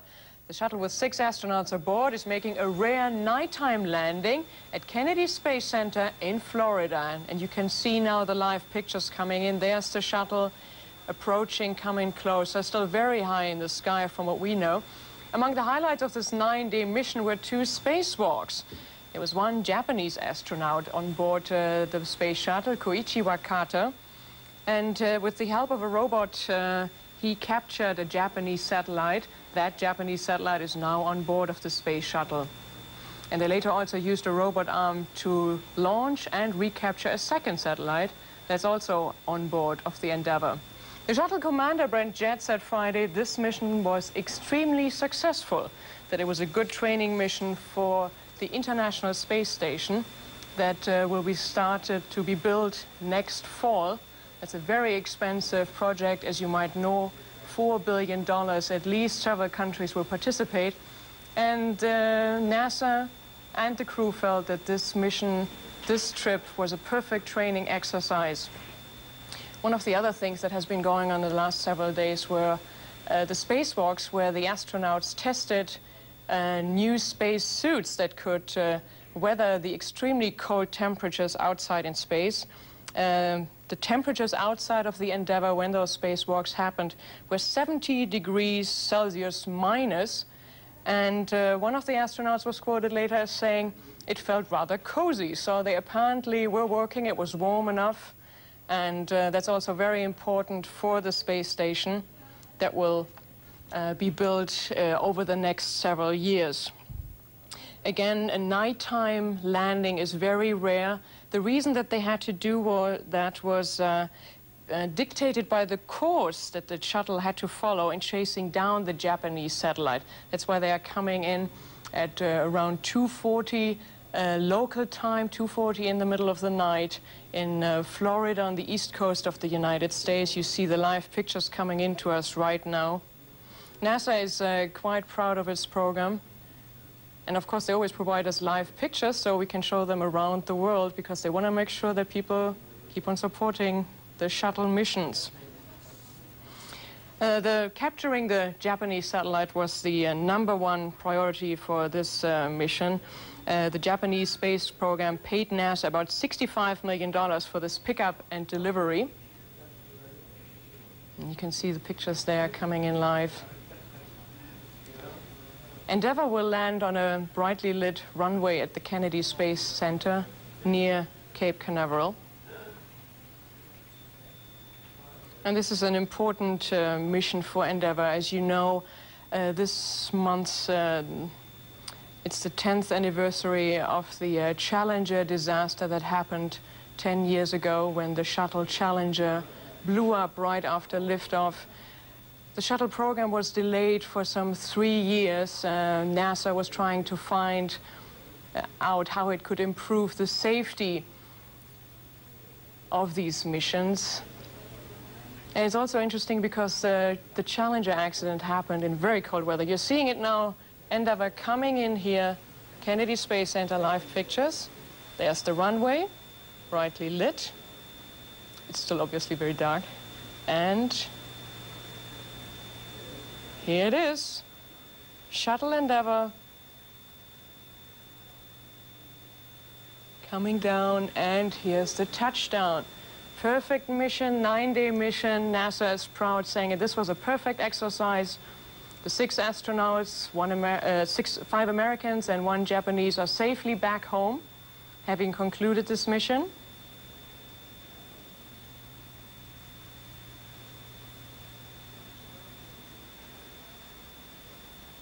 And you can see there's some kind of parachute in the back to help Endeavour to slow down. Whenever astronauts come back, they will go long series of tests to see how they uh, this very, very special trip into outer, outer space. Of course, there's a certain routine to all of this by now. See the pretty picture here. Endeavour slowly coming up. So that was it. The space shuttle has landed. Endeavour is safely back home. And that concludes our special report. And we rejoin now Earth Matters already in progress. I'm Bettina Lüscher. Thank you for watching. This has been a CNN Live event. We touched down about 2.40 in the morning. I imagine we woke a few folks up there in Florida with the sonic booms as we came in. Uh, as soon as the mains were down, Brent put the drag chute out, and that, that's our major deceleration device uh, during the rollout. Uh, at about 60 knots, he jettisoned it here, and if you'll notice, it falls pretty much straight behind the orbiter, so there wasn't much crosswind that day. And as we roll down the runway, we have those uh, bright lights behind us. You watch me searching for the uh, center line here as I watch the nose move left and right, because we were about two miles away from those lights, and it was starting to get dark down there. And it's real important that you stop on the center line. It's the most, most important part of the mission. Nach zehn Tagen im All ist die US-Raumfähre auf die Erde zurückgekehrt. Die sechs Astronauten testeten auf ihrer Expedition die Tauglichkeit von speziellem Material und Werkzeug zum Bau einer internationalen Weltraumstation. Zum größten Erfolg zählte hier das Einfangen eines japanischen Satelliten mit Hilfe eines Roboterarms. Mit dem Bau der Station kann nun bereits Ende nächsten Jahres begonnen werden. Außer den USA nehmen auch Kanada, Japan, Russland und die Europäische Union teil. It was a dark but safe homecoming for the Space Shuttle Endeavour. In Florida, the Endeavour and its crew glided in for a rare night landing at 2.42 a.m. local time Saturday. While on its nine-day mission, the crew retrieved a Japanese science satellite and conducted two spacewalks. The crew also tested heated spacesuits and experimented with construction techniques to be used on building space stations. The shuttle Columbia is due to fly next in late February. Die amerikanische Raumfähre Endeavour ist wieder auf der Erde. Mit einer rauen, aber sicheren Landung setzte sie in der Nacht im mit Flutlicht erleuchteten Kennedy Space Center in Cape Canaveral auf. Es war das achte Mal bei den insgesamt 74 NASA-Missionen, dass ein Shuttle in der Dunkelheit landete. Die Endeavour brachte einen japanischen Satelliten zurück, der fast ein Jahr lang im Orbit war. Neun Tage war die Crew von Commander Brian Duffy im All beschäftigt mit dem Einfangen von Satelliten und Weltraumspaziergängen. In nur einer Nacht sprang die Temperatur an der Ostküste über den Gefrierpunkt auf plus 15 Grad. Die ungeheuren Schneemassen der vergangenen Wochen fingen an zu schmelzen und das Wasser überflutet jetzt alles, was sich in den Weg stellt. Regenfälle und ein Orkan lassen den Pegel weiter steigen. Vor Rhode Island drückte ein Sturm einen Tanker auf eine Sandbank. Das Schiff mit 15 Millionen Liter Heizöl an Bord drohte in den bis zu sechs Meter hohen Wellen zu zerbrechen. Während die Küste mit den Fluten kämpft, erstarrt der Norden und Mittelwesten im Frost. Bei Temperaturen bis minus 62 Grad wurden Schulen und Flughäfen geschlossen. Die Blizzards erreichen Windgeschwindigkeiten von 100 Stundenkilometern. Im mittleren Westen der Vereinigten Staaten gab es ein Schneechaos und dafür sorgte dieser Wirbel, der mit den Schneemassen auch noch arktische Kaltluft weit nach Süden transportierte. Und dabei stürzte stellenweise die Temperatur innerhalb von zwei Stunden um 20 Grad. Und gleichzeitig wurde an der Ostküste sehr warme Luft nach Norden transportiert. Dort ist ja letzte Woche ein Blizzard drüber gezogen mit enormen Schneemassen. Und dieser Schnee, der schmolz natürlich jetzt bei diesen Temperaturen. Und da dieser Wirbel auch noch sehr schnell nach Osten zog, wurde dabei mit diesen Wolken auch noch Regen herangebracht. Und der ließ den Schnee jetzt noch schneller schmelzen. Hochwasser war die Folge. Viele Straßen mussten gesperrt werden und Brücken wurden weggerissen. Wie, äh, wie es dort zugeht, das zeigt die Temperaturverteilung. Auf weniger als 500 Kilometern Entfernung ein Unterschied von 29 Grad. Und wo da Kalt- und Warmluft aufeinanderprallen, geht es natürlich ordentlich zur Sache. Kräftige Gewitter waren die Folge. Hier unten in äh, Florida war es im Norden Floridas gestern nur 18 Grad warm, heute nur noch 1 Grad. Und in Key West machten sich zwar die Wolken der Kaltluft bemerkbar, aber bei 23 Grad konnte man noch schön seinen Wasserspielen nachgehen.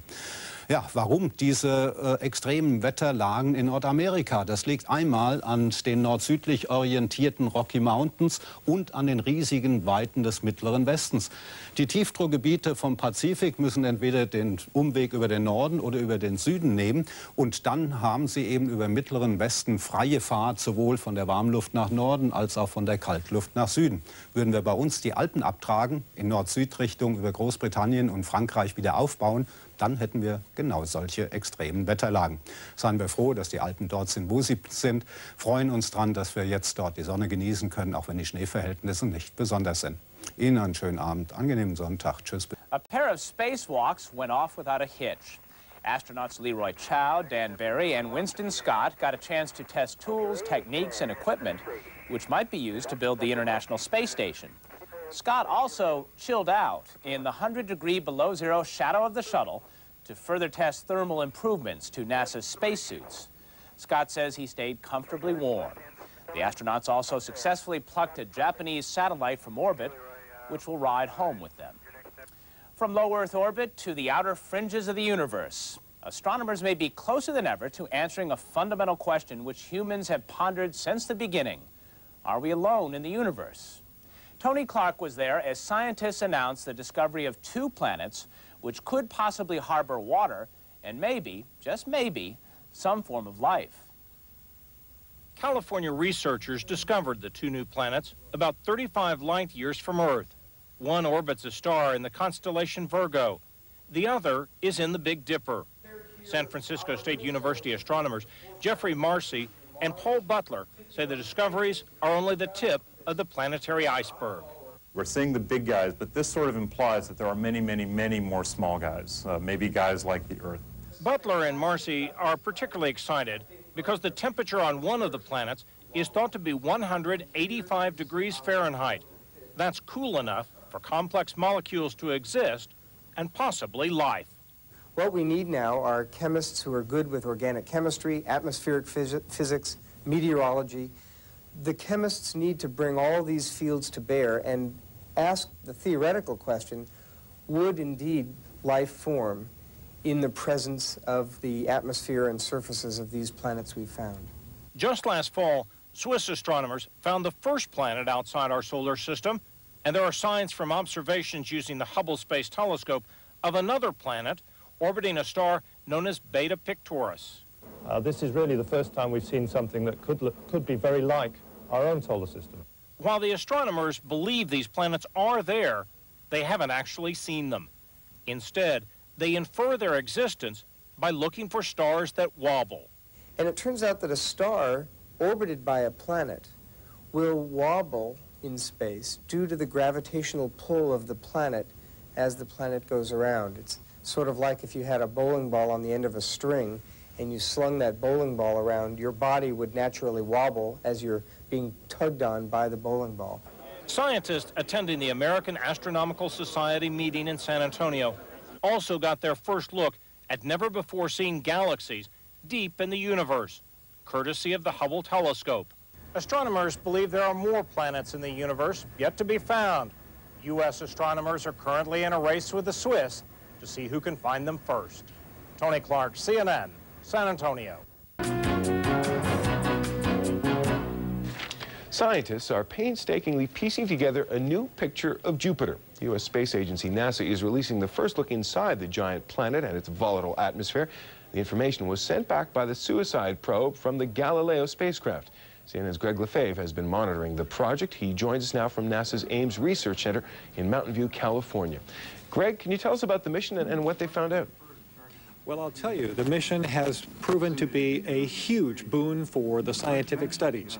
Uh, this is a great day for science. We know a lot more about Jupiter than we ever did, and with that, we know more about how this solar system was formed. For example, uh, on Jupiter, we're finding virtually no water. This is a very, very dry planet, something scientists were not expecting to find out.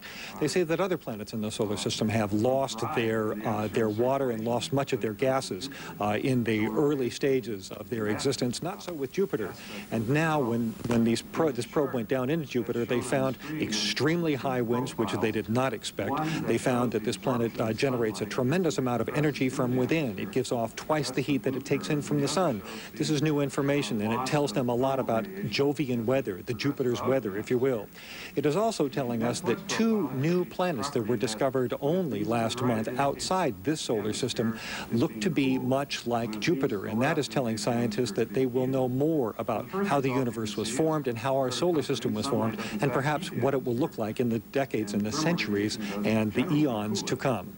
This is Greg Lefebvre, CNN, reporting live from Mountain View, California. Greg, thanks very much. The Jupiter mission blasted off in 1989, then zoomed through space for six years, often silent, dormant, before exploding with information last month. When it arrived at Jupiter last July, the craft separated into two. The probe began preparing for its descent into the atmosphere, while the relay unit stayed in orbit. The Jupiter mission cost $1.5 billion. It became the most ambitious interplanetary undertaking in the history of spaceflight.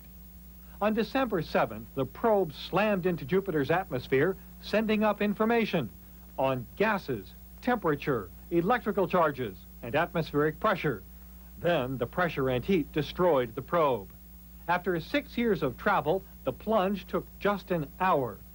But as scientists found when the orbiter relayed the information back to an anxious Earth, it was an hour stuffed with discoveries. A few days later, scientists learned how rich that information was. The scientific triumph came after two heart-stopping, almost mission-killing failures. The main antenna would not open, so a quick software rewrite got the data crammed into a tiny backup antenna. And last October, the craft's data recorder got stuck on rewind. Another software rewrite telling the craft, never do that again. Greg Lefebvre, CNN, Mountain View, California. Information from Galileo's plunge into Jupiter may solve an old mystery. Is Jupiter really a planet? Or, as some believe, a tiny dark star stuck orbiting our sun? Uh, in the case of Jupiter, it's such a massive planet that it's retained everything it formed with, basically. And so that's why we think it represents the early conditions in the solar system. At nearly every turn, the scientists got information they did not expect. Discovery. Jupiter is an extremely dry planet, one-third to one-tenth the water content expected. That relationship between hydrogen and helium is much different than expected. It changes how scientists look at how the planet was formed and how the universe was formed. And I think this helium business on Jupiter tells us Jupiter is changing. It is not made five, four billion years ago and since then sitting there in the sky and nothing happens. It is changing in a dramatic way. Another new discovery. The lightning seen by the Voyager space probe that passed years ago did not happen this time, changing the view of the planet's electrical current. Discovery. Jupiter's atmosphere is rocked by extremely high winds, clocked over 330 miles per hour, 50% faster than believed. Launched in 1989, the probe spent six years traveling to Jupiter. Last month, the probe plunged into Jupiter's atmosphere, sending back 58 minutes of measurements. The richness of the data will allow scientists to add facts to their theories and perhaps change some of those theories. Aspects of the theories that we've been living with are going to have to be modified uh, as a result of these uh, new findings. Another astonishment is the near perfect operation of the equipment, some of which was designed a decade ago. But I think the probe worked very, very well. Um, and it, it was designed a long time ago. Of course, it was using predicted models of Jupiter and it had to be designed to sit and wait a long time to get there. So it's very exciting to see that the probe uh, really worked as well as it did. The probe was destroyed in the plunge, but the orbiter lives on. It will circle Jupiter, sending back information about its atmosphere. It will also study four of Jupiter's moons. Greg Lefebvre, CNN, Mountain View, California. Galileo performed like a champ, but spacecraft like it are on the way out. When we come back, we'll find out what NASA has in mind for planetary exploration in the 21st century. Stay with us.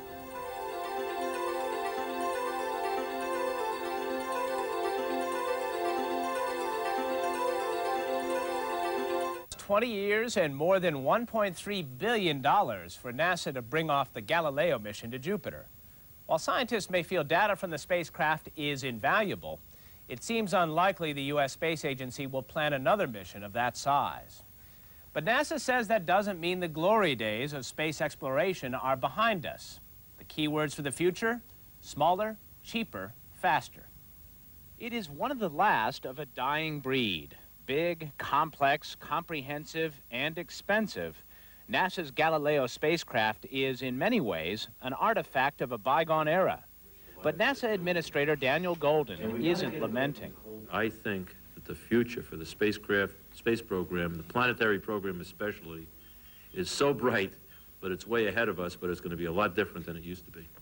Different indeed. By century's end, Goldin envisions NASA launching an armada of unmanned science spacecraft at a rate of one a month planned missions to Mars, Pluto, the Moon, and to retrieve dust from a comet's tail call for simple, small probes with a narrow scientific focus. The concept flies in the face of NASA's old philosophy. Which was to put as much as you can on one spacecraft because it may be the last bus out of town. Uh, and so what we're trying to do now is, no, we're going to provide lots of buses out of town, but they're going to be minivans. Take the Mars Pathfinder mission, for example. Slated for launch at the end of this year, the 600-pound craft is designed to land on the surface of Mars in July of 97. A two-foot-long robot will venture out 30 feet, transmitting images of Martian soil and rocks. Budget for the mission, $150 million, or about 15% of the cost of the billion-dollar Mars Observer. It was supposed to enter the orbit of the red planet in August of 93, but was lost, apparently after a fuel line burst. But not everyone agrees with this new approach to unmanned space exploration. As some NASA critics point out, in space science, quantity doesn't always equate with quality. And for many of these missions, bigger may in fact be better. NASA scientist Torrence Johnson has worked on the Galileo project since the beginning. He knows if NASA was planning a similar mission today, Galileo's instruments and probe would probably be divvied up and launched on three separate spacecraft. Johnson believes that might have diminished the scientific payoff. He just sent one probe there, measured one set of things, and then several years went, went by and you went back with another probe and measured another set of things. You'd never be able to put the whole picture together. But NASA administrators insist new technology will make it possible to do more for less. So when the sun sets on Galileo and the era of big unmanned missions, planetary scientists are hoping they won't be left in the dark. It's time for us to turn out the lights here. Thanks for joining us. I'm Miles O'Brien. Ten years ago, seven astronauts perished when the U.S. Space Shuttle Challenger exploded seconds after liftoff. As CNN's John Zarrella reports, NASA has come a long way since then, but the agency's awakening came at a terrible price. For years now, Bruce Jarvis and his wife Ellen have worn out many shoes, walking shopping center parking lots, they look for cars bearing Florida's Challenger license plates. It's the only way we have of thanking the people who buy those plates. A small card placed in the driver's window says thank you to those who are helping support space education programs by buying the plates. Ten years ago, on a bitterly cold Florida morning, the Jarvises watched as their eldest son, Greg, and six other astronauts died. I knew what had happened immediately. I, I knew that that was the end of the group. Um, I knew that, that nobody would come out of that one. My brain just wouldn't accept that that happened.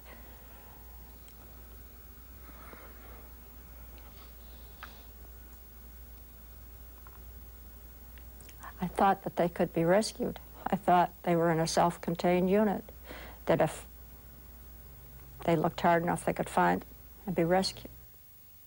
Ultimately, the space agency itself had to be rescued. The accident, a special investigative committee found, was caused by a failed O-ring seal. But the more serious flaw was with NASA itself. The agency believed it could do no wrong. It was above failure. A system that wasn't working the way it should became accepted as, as something that you could continue to fly. And so I think it was a accumulation of, of self-deceptions that ultimately resulted in, in the one last horrible mistake. A mistake that on that January morning, NASA was ill prepared to cope with. Veteran space reporter Howard Benedict remembers. The general NASA public affairs people did not want this way, but it came from on high. Shut up. Don't tell them anything. They just weren't used to dealing with a disaster. The wreckage of Challenger, pulled from the ocean floor, was symbolic of the state of NASA a decade ago. Since then, the space agency has been committed to rebuilding itself. Safer flight and ground systems, stricter launch and flight rules. We have launched the shuttle now twice as many times after Challenger as we did before the accident. We know the system. We've addressed the major problems uh, that were in the system at the time of the accident. And so I think the overall the shuttle is a much safer, much more uh, uh, usable system than it was a decade ago. But today's NASA continues paying the price for the arrogance of the past. Congress remains wary. There's little support from the White House. The space budget is constantly being squeezed, and the only long-term goal for humans in space is the International Space Station. These days, NASA's biggest challenge is keeping the dream alive until the fires of exploration are rekindled. The best thing we can do to remember and honor that crew is to get on with what the reasons they went into space anyway, which is to, to develop space, to be used by the people on Earth. I'd probably talk about the, um, the payload bay and talk about the satellites that are deployed. Christa McAuliffe, who was to be the first teacher in space, said Challenger would be the ultimate field trip. Teacher Barbara Morgan, who was McAuliffe's backup, to this day stays ready to fulfill Christa's dream. Morgan believes it must be done for the children. And we've got to keep their future open and those opportunities out there for them and help them prepare for that. So, um, yes, we go on. And Bruce and Ellen Jarvis continue in their way, keeping their son's dream alive, despite the pains of age and a decade of sorrow. He just said, he, I just want to call you to tell you that we're, the, the uh, thing will be going off tomorrow morning. And uh, uh, and the last thing he said was, I love you, Dad. John Zarrella, CNN, at the Kennedy Space Center in Florida. Weltweit verfolgten an den Bildschirmen, wie die Raumfähre Challenger Sekunden nach dem Start in der Luft explodierte. Die Besatzung, zwei Frauen und fünf Männer, kam damals ums Leben. Cape Canaveral am 28. Januar 1986. Gespannt verfolgt die amerikanische Nation den 25. Shuttle-Start. Nach mehreren Startverschiebungen hebt die Challenger um 11.39 Uhr Ortszeit ab. Alle Systeme funktionieren normal. Doch nach 73 Sekunden die Katastrophe. In einer Höhe von 14 Kilometern explodieren 2 Millionen Liter Sauer- und Wasserstoff.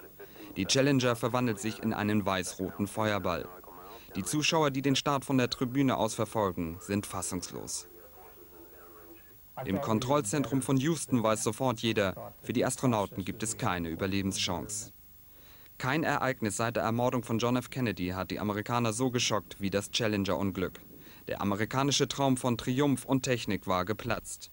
Der damalige US-Präsident Reagan spricht in einer Rede zur Nation von einer Katastrophe für die Amerikaner. Dabei hätte sie verhindert werden können.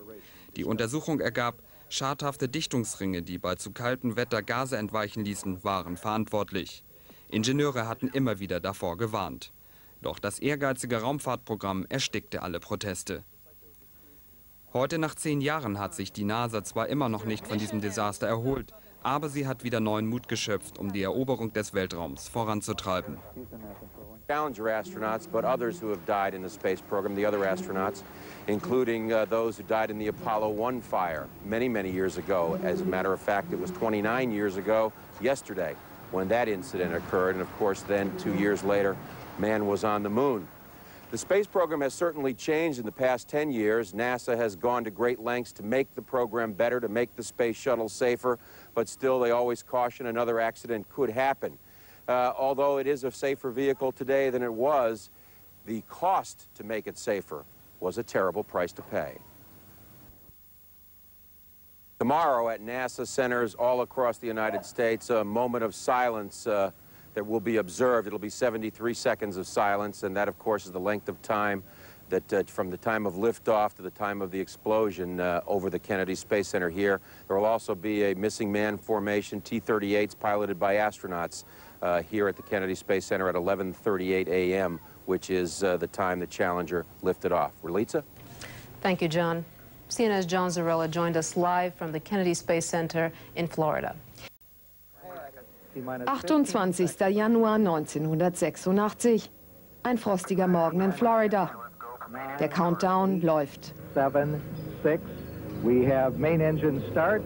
Four, three, two, one, and liftoff.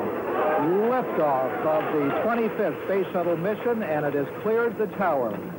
Gegen 11 Uhr Ortszeit hebt die Raumfähre Challenger mit sieben Astronauten an Bord vom Raumfahrtzentrum Cape Canaveral ab. Kaum 73 Sekunden später, in 14.300 Metern Höhe über dem Atlantik, explodiert das Raumschiff in einem riesigen Feuerball.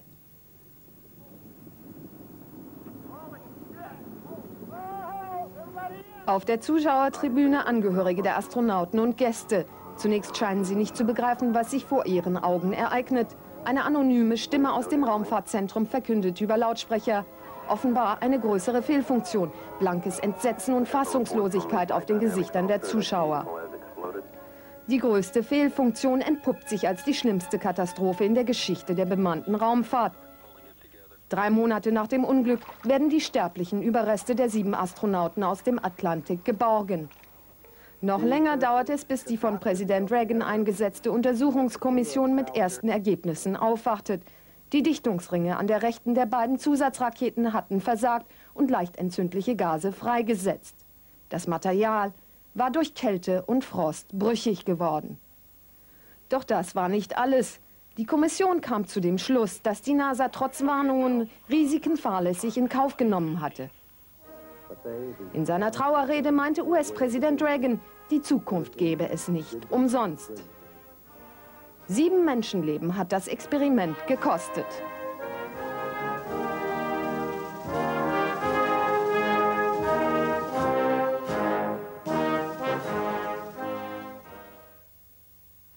Und aus dem Studio in Washington ist nun unser Korrespondent Roger Onet zugeschaltet. Guten Abend. Namen nach Berlin. Heute vor zehn Jahren die Challenger-Tragödie. In welcher Form hat denn dieses Ereignis in den USA heute noch eine Rolle gespielt? Nun, es gibt keine Zeitung in diesem Lande, es gibt keine Fernsehsendung, die nicht darüber berichtet hat. Man hat Interviews mit den Angehörigen gemacht, man hat versucht nachvollziehen, wie sie diesen Schock im Laufe der Jahre überwunden haben oder wie die Eindrücke noch heute ihr Leben beeinflussen. All dies lebte hier in den Medien wieder auf. Nach der Explosion sind ja die Mittel für die bemannte Raumfahrt gekürzt worden. Welche Rolle spielen denn Raumfahrt und NASA heute noch? Nun, man muss zunächst einmal feststellen, dass es ja auch eine politische Veränderung gegeben hat. Damals sprach man noch über Star Wars, über das Programm, was sehr viel Geld kosten sollte. Inzwischen gibt es eine Kooperation mit Russland und es hat sich geändert. Damals hatte man noch Geld, heute haben beide Nationen kein Geld mehr und mit dem wenigen, was man hat, versucht man zu kooperieren. Äh, man spricht hier in den USA sehr viel über einen ausgeglichenen Haushalt. Sollte er jemals erreicht werden, was viele bezweifeln, würde dies natürlich auch eine weitere Verknappung der Mittel bei der NASA bedeuten. Also die Forschung geht weiter, aber Gemach, Gemach. Vielen Dank für diese Informationen aus Washington, Roger Ornay. Two, one, and liftoff.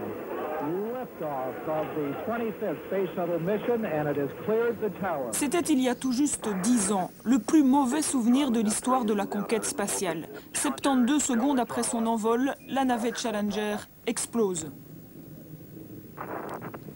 À bord, sept membres d'équipage, dont une jeune institutrice, Christina McAuliffe, la première astronaute civile jamais envoyée dans l'espace. Christina McAuliffe a fait rêver les États-Unis et le monde entier, un rêve qui vire au cauchemar et qui anéantit l'image de la NASA. L'explosion de Challenger a d'ailleurs considérablement ralenti le programme spatial américain. Depuis dix ans, la NASA a bien sûr poursuivi ses recherches et a beaucoup progressé au niveau de la technique et de la sécurité, mais elle n'a jamais retrouvé son aura ternie depuis lors. Même si d'autres navettes ont remplacé Challenger, Même si le télescope Hubble et la sonde Galileo autour de Jupiter sont des succès, la NASA n'a plus la confiance des Américains. Elle a même désormais beaucoup de mal à boucler son budget et négocie péniblement les fonds nécessaires à la future station spatiale construite en collaboration avec les Russes et les Européens. Challenger-Unglück Amerika Welt.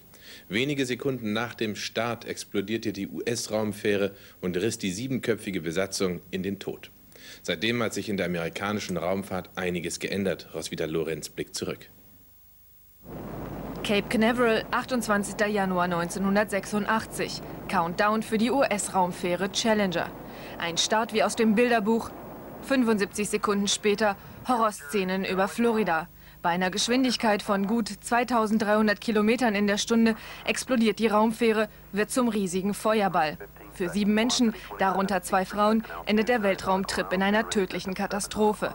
Raumkapsel und Trümmerteile regnen Kilometer entfernt in den Atlantik. Der amerikanische Traum vom problemlosen Flug ins All zerplatzt an diesem Morgen.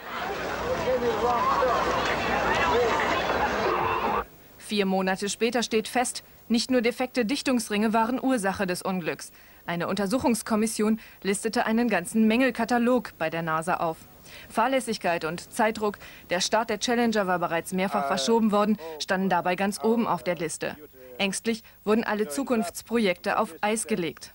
Die US-Raumfahrtbehörde reagierte. Schärfere Sicherheits- und Qualitätskontrollen bestimmen den neuen Kurs der NASA. Heute sind fast alle amerikanischen Weltraumflüge unbemannt. Die Amerikaner setzen überwiegend auf internationale Zusammenarbeit. Das bringt in Zeiten verschärfter Rotstiftpolitik in Washington nicht nur Geld in die Kassen, sondern auch Dollars für teure Sicherheitsprojekte. 49 Mal starteten US-Raumfähren seit dem Challenger-Unglück vor zehn Jahren. Alle kehrten sie heil auf die Erde zurück. Trotzdem, die Boomindustrie Weltraum bleibt auch in Zukunft ein risikoreiches Unternehmen. Für die bemannte Raumfahrt ist es der schwärzeste Tag. Kurz nach dem Start explodiert der Raumgleiter Challenger über Cape Canaveral. Der Glaube an die Technik wurde damals erschüttert und der Schock sitzt auch zehn Jahre danach noch tief. Raumfahrtzentrum Cape Canaveral, 28. Januar 1986. 73 Sekunden nach dem Abheben explodiert die Challenger. Der Feuerball reißt sechs Astronauten und eine Lehrerin in den Tod. Es dauert weitere Sekunden oder Minuten, bevor jedem klar wird, dass das Spektakel eine Katastrophe ist. Der Albtraum vieler NASA-Mitarbeiter ist wahr geworden. Ich saß im Kontrollsaal hier in Washington wir schauten uns alle an zunächst. Wir haben also zunächst mal, ich würde sagen, eine halbe Stunde, eine Stunde gebraucht, äh, als Individuen äh, überhaupt zu uns zu kommen. Nach der Katastrophe wurde das ganze Sicherheitssystem überholt. Selbst kleinste Warnungen werden nun ernst genommen. 49 Flüge sind seitdem erfolgreich verlaufen. Und die NASA hat allen Grund, stolz zu sein. Doch solche Unfälle sind auch in Zukunft nicht völlig auszuschließen. Das Prinzip Hoffnung wird weiterhin jeden Shuttleflug begleiten. Auslandsjournal. Die Themen. USA, zehn Jahre nach der Challenger-Explosion. Guten Abend, meine Damen und Herren. Willkommen zum Auslandsjournal. Echte Sensationen werden leicht übersehen, wahrscheinlich, weil nur ein paar Eingeweihte sie verstehen. So war das auch in der vergangenen Woche. Da funkte eine fliegende Kamera vom sogenannten Hubble-Weltraumteleskop Bilder zur Erde, die, wie Astronomen meinen, das menschliche Begreifen fast überfordern. Bilder vom Rande des Weltraums, die Prozesse zeigen, wie sie kurz nach dem Urknall abgelaufen sein könnten, kurz nach der Entstehung des Universums. Bei der Forschung im Weltall geht es nicht nur um Erkenntnisgewinn, viel häufiger um militärische, wirtschaftliche, technische Vorhaben. Vor zehn Jahren gab es dabei einen verheerenden Rückschlag. Kurz nach dem Start am 28. Januar 1986 explodierte die amerikanische Raumfähre Challenger. Alle sieben Astronauten kamen um. Die Ursache des Unglücks wurde gefunden, technische Mängel. Die bemannte Raumfahrt aber ging weiter. Unser USA-Korrespondent Elmar Thewissen. Sie sagen, es wird gut gehen. Das sind die Worte, die Commander Dick Scobie an diesem Morgen seinen Eltern am Telefon sagt. Es ist das letzte Mal, dass Sie mit Ihrem Sohn sprechen. 28. Januar 1986 morgens. Challenger hebt ab, trotz der Eiseskälte. Die Eltern von Christa McAuliffe haben Angst um ihre Tochter, die als erste Lehrerin im All für die Vision Weltraum werben soll. 1 minute 15 seconds. Velocity 2,900 feet per second. Altitude 9 nautical miles. Downrange distance 7 nautical miles. Apparently exploded. Impact 4 degrees north. Booster ignition and liftoff of Endeavour. 11. Januar 1996. Wieder ist es eiskalt in Cape Canaveral. Wieder gibt es, wie bei fast allen der letzten 70 Shuttle-Missionen, Probleme, Startverzögerungen. Doch die Raumfähre Endeavour schafft es. Aber der amerikanische Traum vom Weltraum ist anders seit Challenger. Es ist 4 Uhr morgens im Johnson Space Center in Houston. Zur Arbeit kommt ein Mann, der bei jedem Start wie alle seine Kollegen an den Tag vor zehn Jahren denkt. Ed Campion war dabei.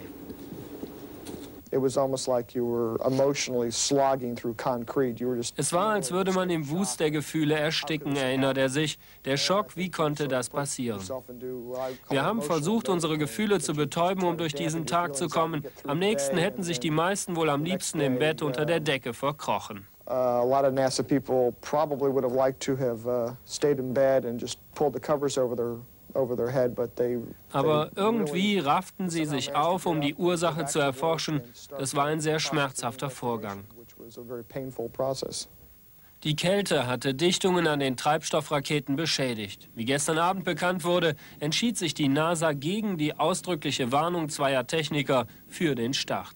Das Antriebsfeuer griff über.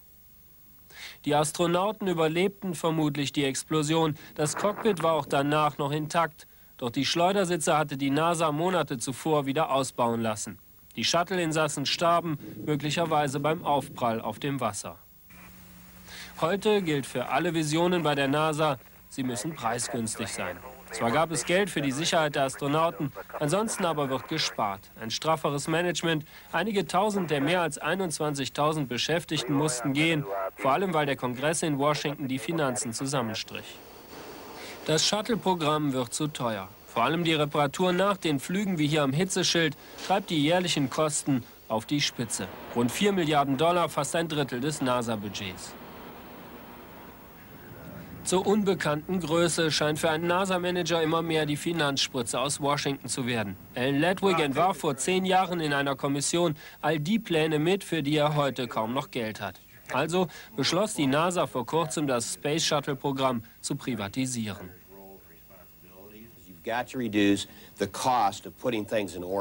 Wir müssen die Kosten für den Transport in den Orbit senken, erklärt er, sonst ist im Weltraum kein Geschäft zu machen. Also Kostensenkung zum Beispiel durch eine Partnerschaft zwischen Regierung und Industrie. Die Vision. Der X-34 von NASA und Industrie zu gleichen Teilen finanziert, soll Satelliten in niedrige Umlaufbahnen bringen, den Konkurrenten aus Europa und China das Geschäft vermiesen. Sein großer Bruder, der X-33. Er soll der wahre Nachfolger des Shuttle werden, anders als er mit integrierten Treibstofftanks. Doch die NASA will nur bis zum erfolgreichen Test mitfinanzieren. Danach muss der Shuttle alleine fliegen, getragen vom Geld der Industrie. Ich bin sehr enttäuscht von der Industrie, klagt einer der Sparkommissare im Kongress. Wir haben bewiesen, dass so ein Shuttle-Programm funktioniert. Erst wollten sie mitmachen, aber wenn sie dann Risikokapital einsetzen sollen, dann spielen sie nicht mit. Uh,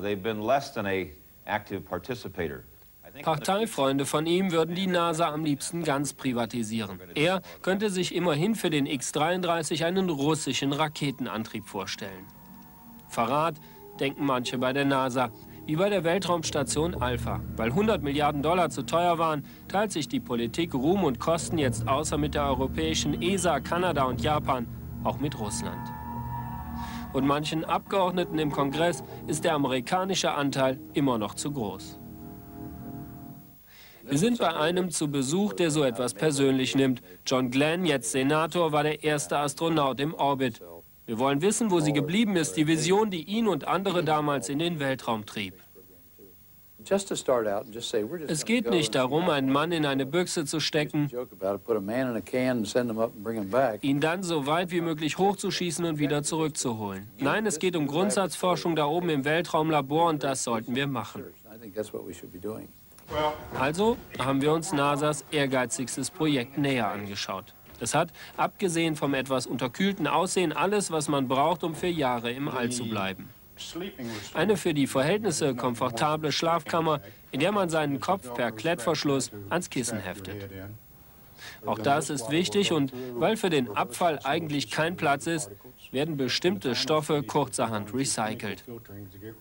Gewöhnungsbedürftig. Man zeigt uns das Paradebeispiel für den Nutzen der Station. In diesem Bioreaktor könnte man wegen der Schwerelosigkeit dreidimensionale Lebertransplantate züchten. An Bord könnte auch ein Mittel gegen Kalziummangel gefunden werden, der im All die Knochen der Astronauten erheblich schneller zerstört als auf der Erde. Ist das Problem gelöst, wäre die Weltraumstation Alpha vielleicht eine ideale Basis für jahrelange Reisen in die Tiefen des Alls. Das ist die Vision, die die NASA in ein paar Wochen offiziell bekannt geben wird. We would go and image another wir wollen ein Bild von einem Planeten in einem anderen Sonnensystem innerhalb von 20 Jahren, sagt Ellen Ledwig. Zehn Jahre Suche und dann ein Raumschiff hinschicken, das dort fotografiert. So wie es die Sonde Galileo schon beim Planeten Jupiter macht. Die Fotos der ausgesetzten Minisonde werden mit Spannung erwartet. Und die Meldung der letzten Woche, dass zwei Planeten entdeckt wurden, auf denen es vielleicht Leben gibt, hat die NASA elektrisiert. Nun träumt man vom Vorstoß in ferne Galaxien, wie sie das Hubble-Teleskop vor kurzem fotografierte. An die Grenzen des Machbaren lässt man sich da nur ungern erinnern, sei es der Geldmangel oder das Versagen, dem immerhin sieben Menschen zum Opfer fielen.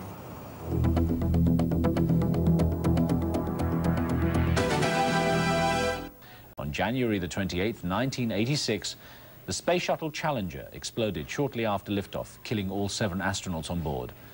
In focus this hour, a conversation with the wives of two of the astronauts who died. CNN Cynthia Bowers asked them to reflect on the tragedy. It's very difficult to see this explosion again and again because we all, my, my children, I love Mike so still, that it is a painful memory. The children have grown up to remember the way their father lived. And mostly I've tried to help them focus on that very point. We will get into that a little bit more later. June, for a long time, you, I understand, couldn't even talk about this. Um, why was that, and what helped you get over that? Well, for nearly nine years, Cynthia, I, every time a reporter asked me about that day, I, I couldn't even re remember.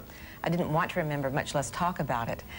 But uh, Robert Schuller, on a Sunday morning worship service, asked me to tell the, about my our loss in that day, and um, I, when I couldn't, he said, then perhaps, June, you should write about it, and it can help you.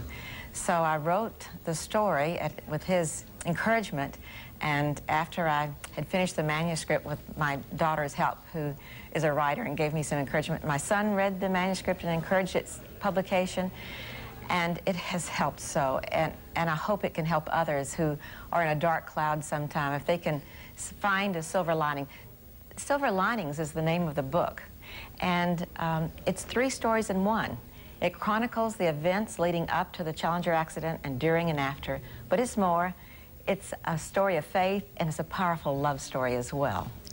Knowing that the 10-year anniversary is coming up in just a few days, are you steeling yourself for the video popping up everywhere and it being almost unavoidable to watch again?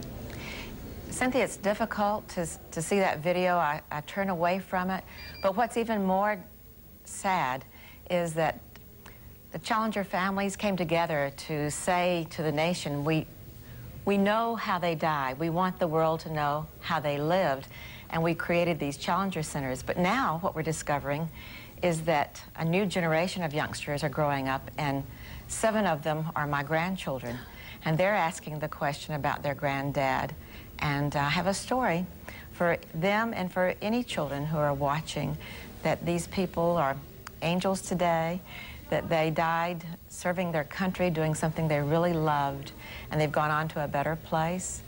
And um, their mission continues to the Challenger Centers, and we believe that they were great pioneers, maybe not in a Conestoga wagon crossing the continent, making I guess, trailblazing, forging the way for others, but they were space explorers. And um, they believed very much in what they were doing. And that's a part of history. So you, we have our private life with our loved ones, but they were also had a, very much a public life. And it's that public life that people are interested in and want to know. And it's a part of history. And they're beginning to become comfortable with understanding that it is history, but they're saddened that it's someone that they never got to meet. Well, June, I think uh, most Americans think of them as heroes in addition to the other things you mentioned. Let's um, quickly ask you about your Challenger Centers. I understand that you and the other families decided that a living memorial was better than just a piece of granite with some names on it. How do the Challenger Centers work and what, what are they? Well, we have a network of 25 learning centers across the country. They started in Texas, California, New York, Florida, across Canada, Hawaii. At these centers, youngsters prepare to fly a mission into space, and their classroom teacher, school bus, climb aboard a space station simulator and a mission control mocked up much like NASA. These children in their classroom work together as a team solving problems, conducting scientific experiments, making important decisions, and they come away with great self-esteem. One day they were a navigator, or they were a technician, or an engineer, or a scientist. And um, with this story, we're saying to the youngsters, this is how these people lived, and we want to provide an opportunity for them to learn science and math and have fun. So I always say, they take a trip, a field trip outside the boundaries of the planet and back home into their classroom textbooks to learn science and math. It sounds great. Jane, I know you're involved in that project too, but I want to ask you about the lawsuits. You filed a lawsuit against the government and against Morton Thiokol, who designed the O-rings. What happened in those lawsuits, and was this a way of dealing with grief for you? Well, I always felt it was very important to find out uh, the problems behind the uh, explosion and the loss of our loved ones. We all made our own settlement, uh, out-of-court settlements in our own ways, dealing with it as best we could. Um, part of the reason that I was interested in, and I never, uh, my suit with NASA was thrown out of the Supreme Court, so I never settled anything with NASA. I have many friends at NASA and have a great deal of respect for the space program and those that fly it in space and those dealing with this form of technology. My settlement was only with Martin Thiokol. I did not want, and I did not believe, and I still feel this way, that no corporation should benefit from the loss or the death of someone. That concludes our focus segment for this hour. Challenger 10 years later. As the U.S. reflects on its worst space disaster, NASA looks forward to the next generation of manned spacecraft. Hello and welcome. I'm Miles O'Brien. It's been 10 years this weekend since the Space Shuttle Challenger exploded 73 seconds after liftoff, killing all seven astronauts aboard. The worst disaster in the history of the U.S. space program the Challenger explosion ushered in the darkest chapter in NASA's history. This past week, the space agency released some chilling footage from the day of the explosion and the recovery mission that followed. John Zarrella has the story. We have main engine start. Four, three, two, one, and liftoff liftoff of the 25th Space Shuttle mission, and it has cleared the tower. Nothing appeared unusual when the Shuttle Challenger left the launch pad. Roger, roll, Challenger. Good roll program confirmed. Challenger now heading downrange. These re-released pictures from NASA show the men and women at Mission Control in Houston monitoring their consoles, the instrumentation, what they didn't see was the torch-like flame pouring from the solid rocket booster, burning a hole in the giant external fuel tank. Engines at 65%, three engines uh, running normally, three good fuel cells. At one minute into the flight, the main engines are throttled up. Challenger, go at throttle up. Challenger, go at throttle up.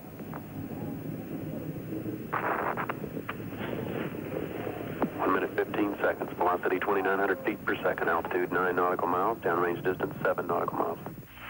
Astronaut Dick Covey, capsule communicator, now sees what has happened.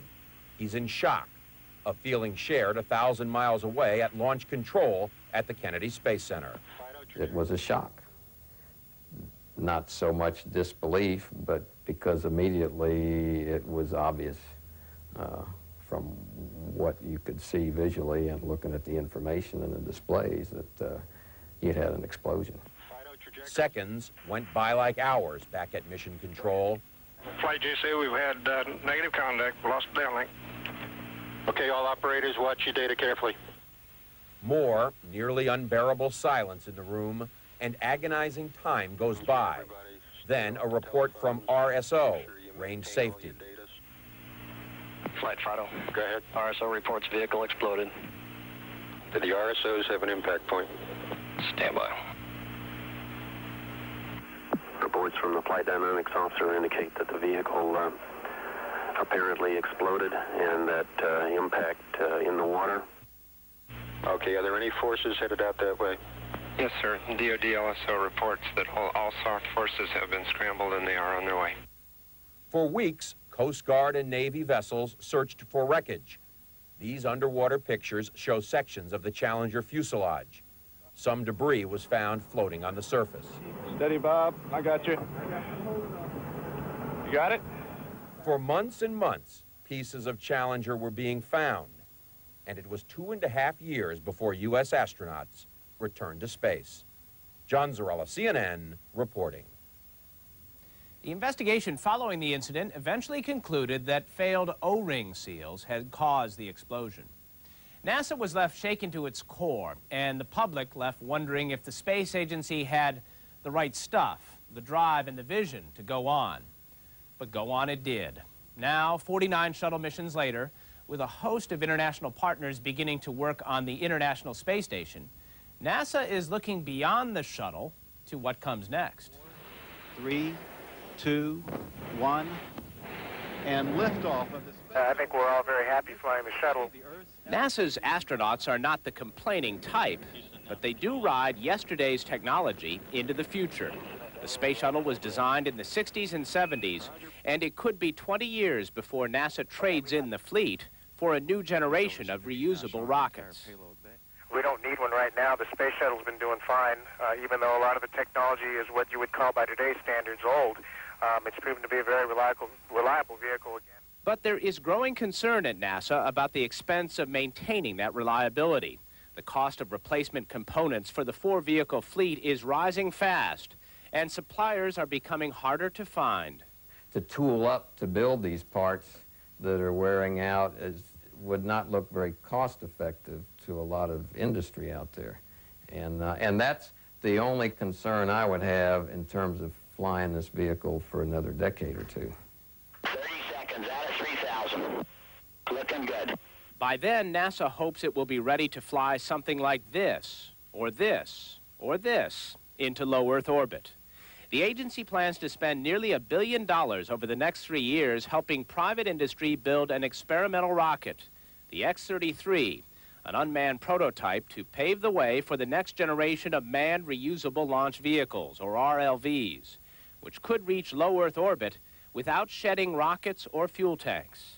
From the very nose of the bird to the tail of the bird, we are starting with a clean sheet of paper and saying we're going to have a bird that is easy to operate and does have uh, robustness built into it. Easy and robust. Those were the promises when NASA officials sold Congress on the shuttle a generation ago. But the reality never came close to the sales pitch. Analysts say that's because NASA was touting an untested concept.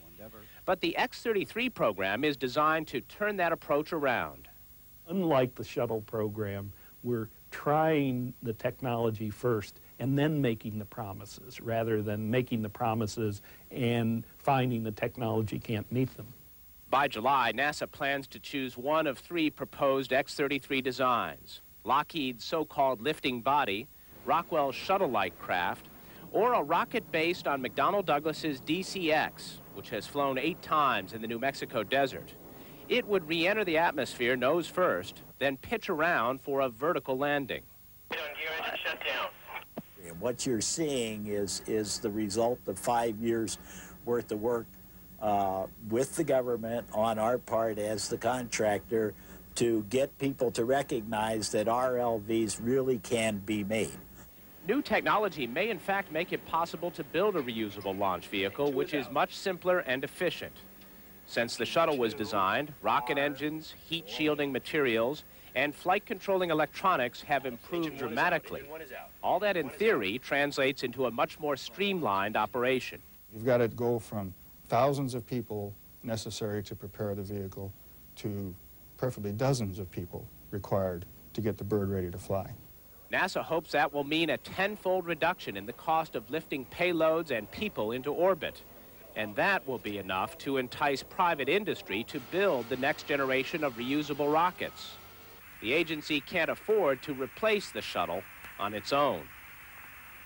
If all goes according to plan, the X-33 will begin flight tests by March of 1999. The current shuttle fleet is expected to remain in service through at least 2012.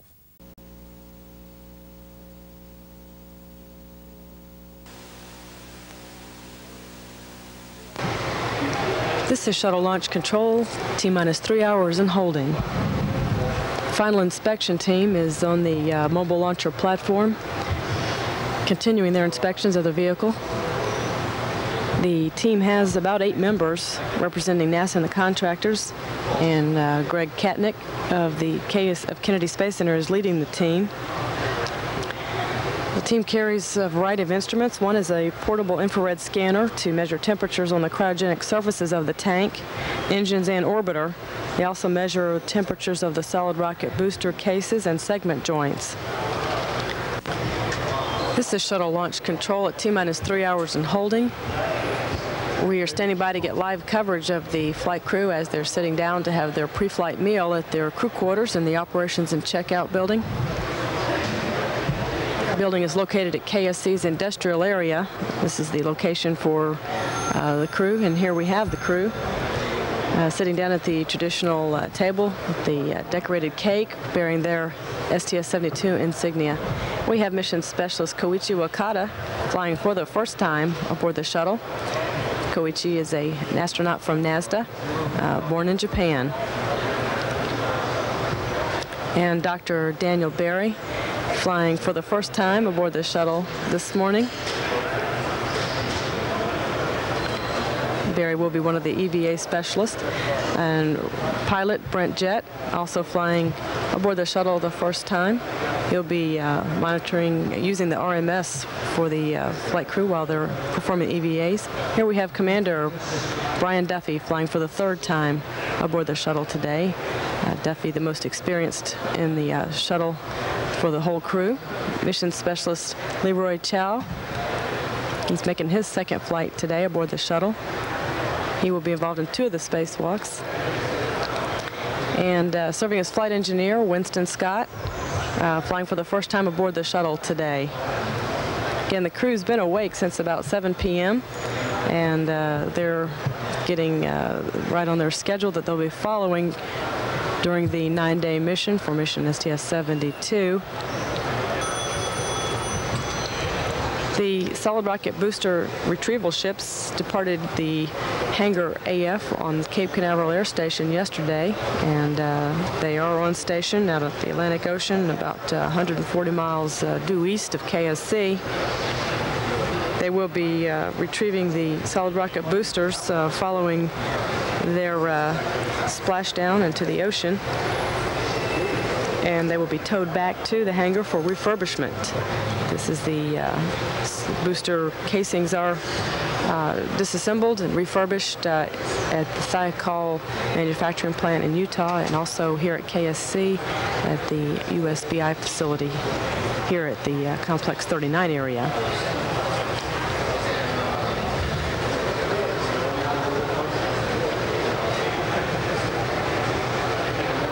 There are no problems in our countdown. Uh, countdown is proceeding on schedule and uh, per the timeline. T minus two hours, 57 minutes and counting. This is shuttle launch control.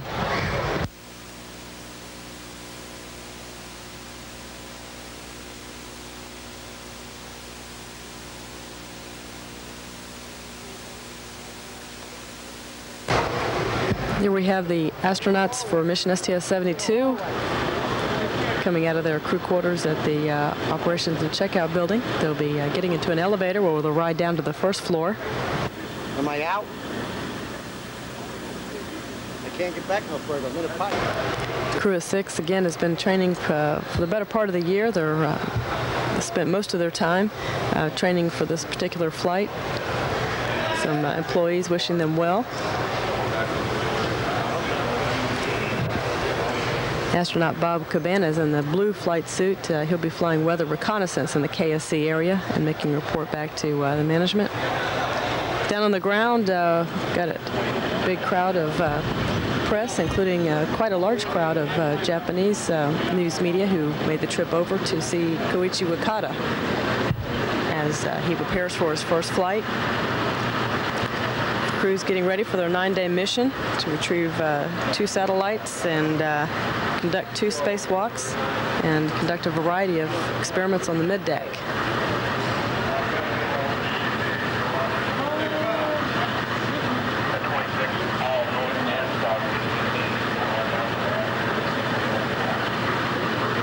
We have the team led by Commander Brian Duffy.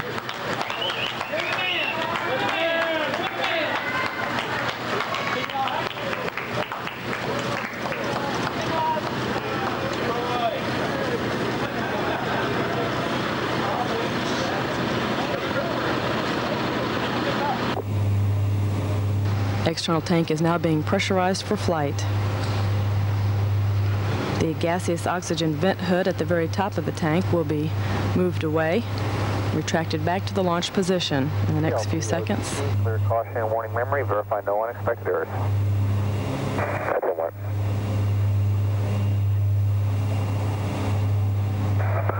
OTC caution and warning is clear. No unexpected errors.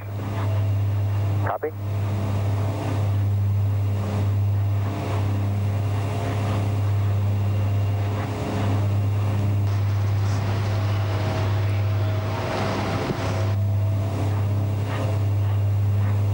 Endeavour OTC, close and lock your visors, initiate O2 smoke flow, have a smooth ride and a safe landing. All right, thanks OTC, and let's get 96 off to a great start. GLS go for ET LH2 pressurization. The six-member crew is about to embark on the first day of the planned nine-day flight. Crew will retrieve the Japanese Space Flyer unit, deploy and retrieve NASA's OAST Free Flyer satellite, and conduct two six-hour spacewalks. All systems aboard Endeavour are go. One minute, 30 seconds. T-minus 90 seconds. Endeavour will be launched on an easterly trajectory on an orbit inclined 28.45 degrees to the equator. Endeavour's launch marks the 74th shuttle launch in the history of the program.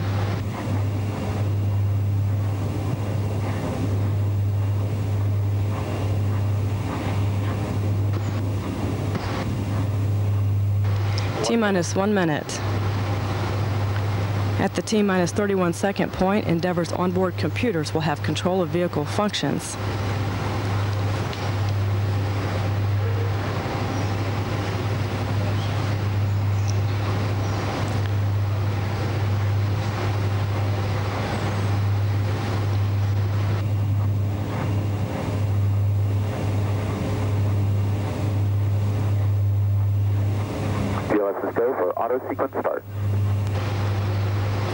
In the next few seconds, 25. thousands of gallons of water will be dumped onto the launch platform to help suppress the sound and shock of the 7 million pounds of thrust produced by the shuttle. T-minus 15 seconds. 12, 11, 10, 9, 8. We have a go for engine start. 5, 4, 3, 2, 1. Booster ignition and liftoff of Endeavour in pursuit of a Japanese satellite. Testing monitor everything. Houston now controlling. 217, 218, roll. Roll program, Houston. Roger, roll, Endeavour. The roll maneuver is uh, complete aboard the orbiter Endeavour.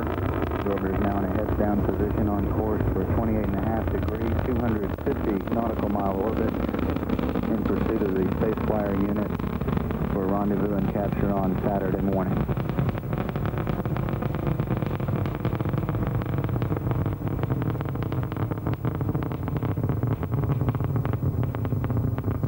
Endeavour's engines have now throttled down as the orbiter prepares to pass through the area of maximum dynamic pressure on the vehicle.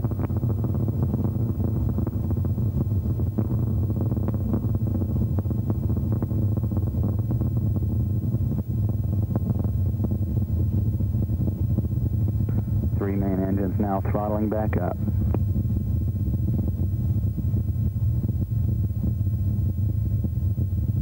Endeavour Houston, go with throttle up. Roger, go with throttle up. Endeavour's three liquid-fueled engines are now back at full throttle.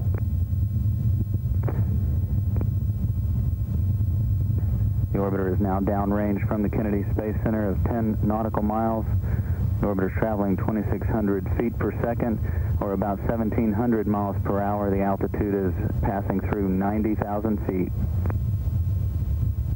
The three hydraulic systems are in excellent shape, as are the fuel cells. The main engines are still performing at full throttle.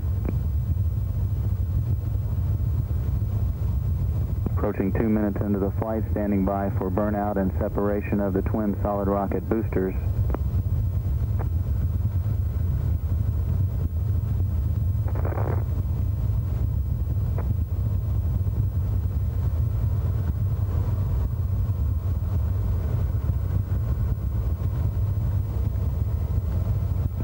SRB separation is confirmed. Time 2 minutes and 20 seconds into the flight. Endeavour Houston, performance nominal. Roger, nominal. Performance thus far in the uh, launch phase has been as expected. Endeavour is now at an altitude of 210,000 feet, downrange from the launch site 45 nautical miles, now traveling 5,000 feet per second or about 3,400 miles per hour.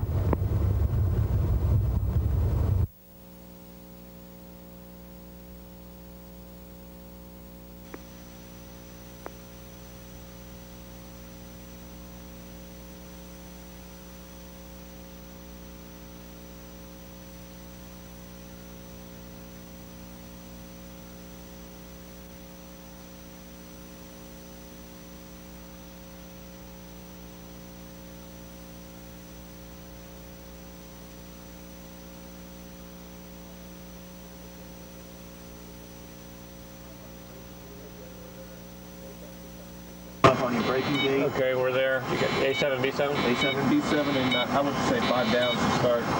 Okay. Let me take a look at that. Actually, it's not dropping at all yet. Okay, so I'm, it will. I'm going to start doing some braking. Okay, coming up on say 300. Yeah. 2311. That's, that's, that's real good. That's a real good no correlation. 660 minus 0.7. What's that X dot? Let's see, just so I don't. Is it zero minus? Okay. Just so I don't, I don't want to let a rate build up on that. Okay, I'll, I'll keep it Two five oh. Endeavour Houston, stand by for canister jettison command. There it goes. There it Good goes. jettison. Good jettison. Tell him.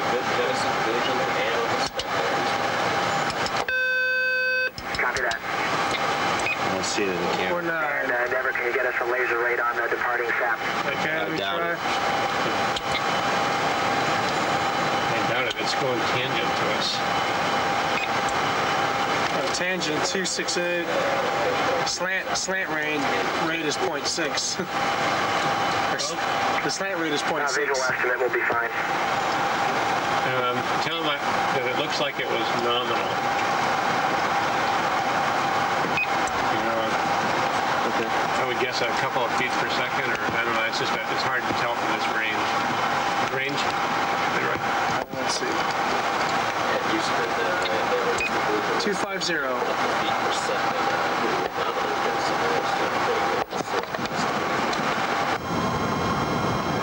Three inches.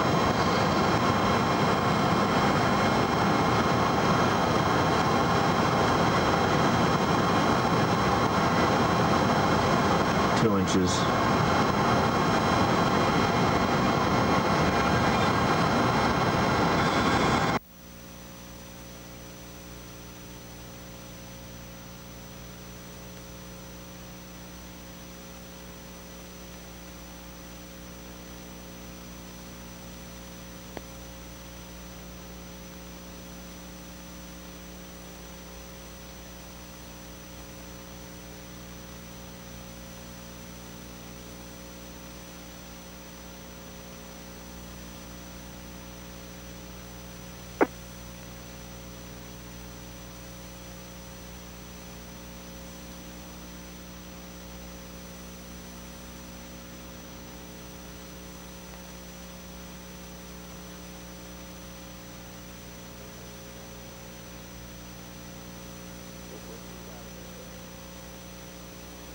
And Koichi's got it, Houston. The man would come through.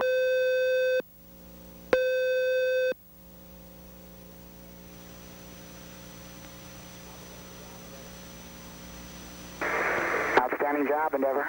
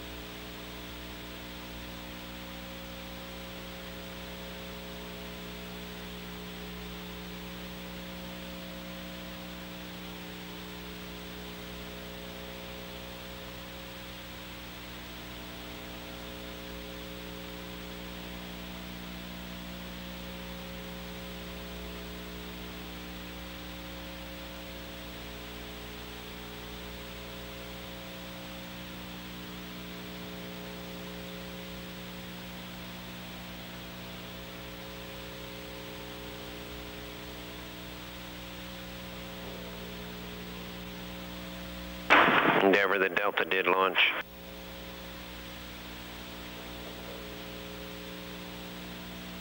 Thanks, Troy. Guess we're just coming by LA and Phoenix now.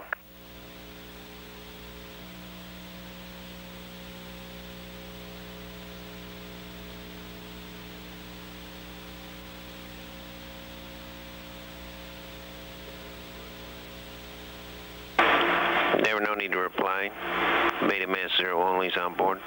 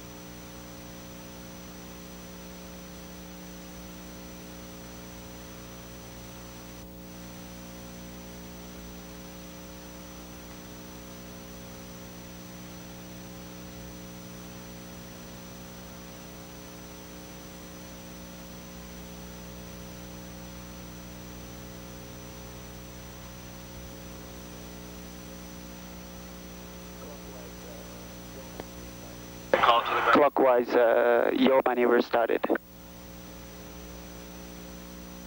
Great news, Endeavour.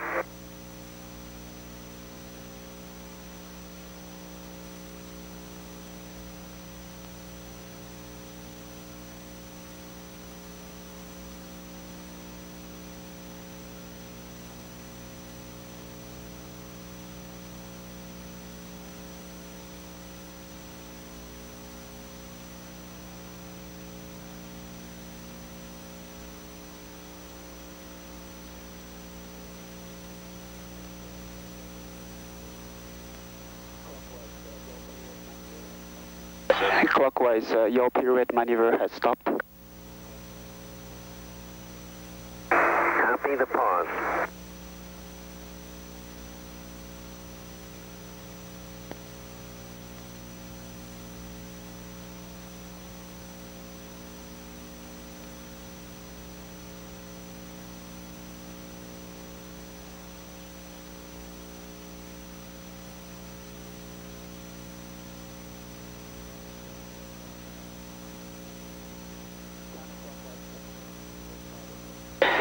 Counterclockwise pirouette maneuver started. Thank you.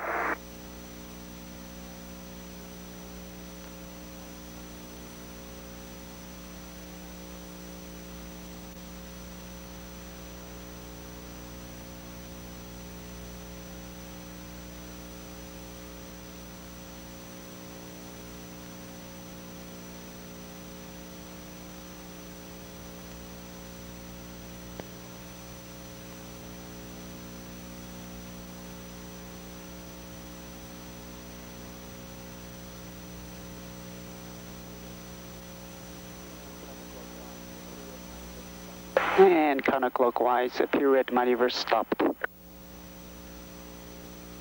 Copy.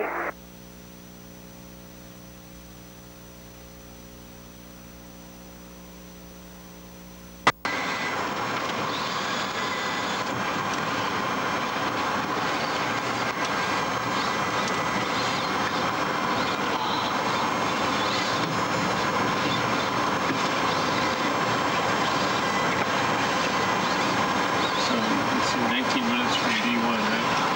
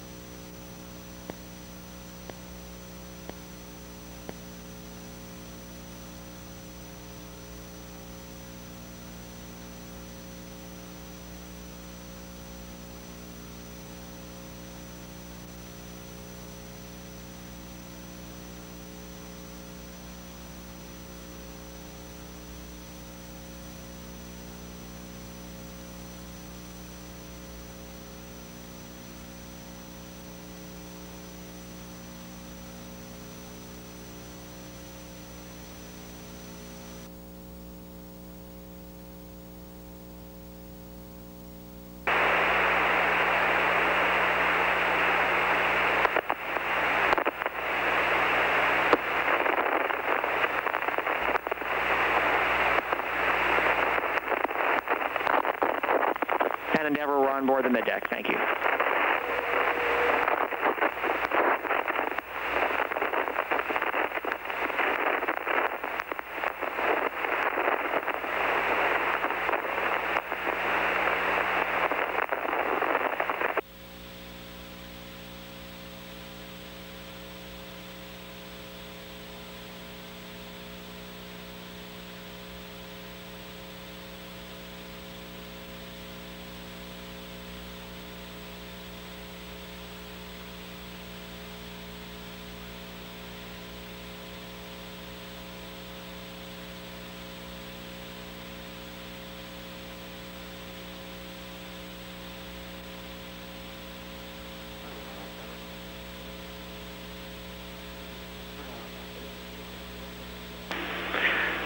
Endeavour Houston, one minute till uh, TDRS handover, and I have the SFU thermal bailout attitude when you're ready to copy.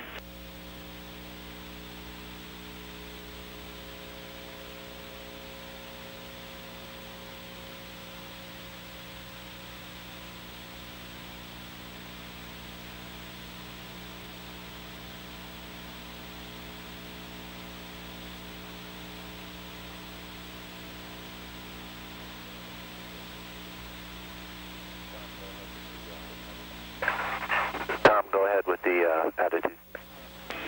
Target 4, body vector 5, pitch 1 4, yaw 0, Omicron 270.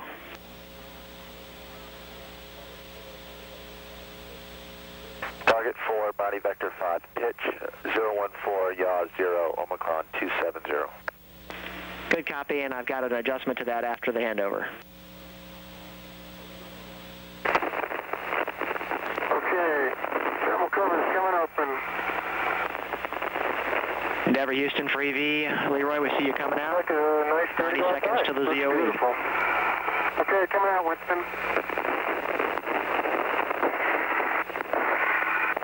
Endeavour will get you back at 2009. 10 minutes of Radicom off the tail when we come back. I'll give you some slack here, Leroy. Okay?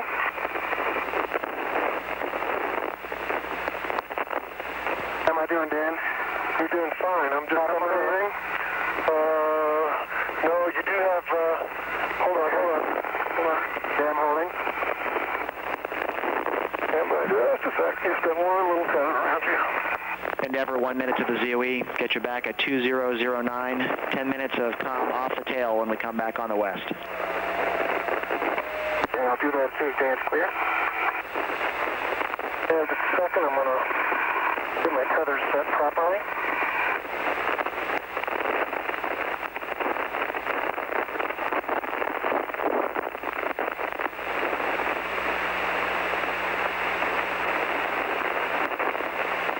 The RT seems to work pretty good. Good.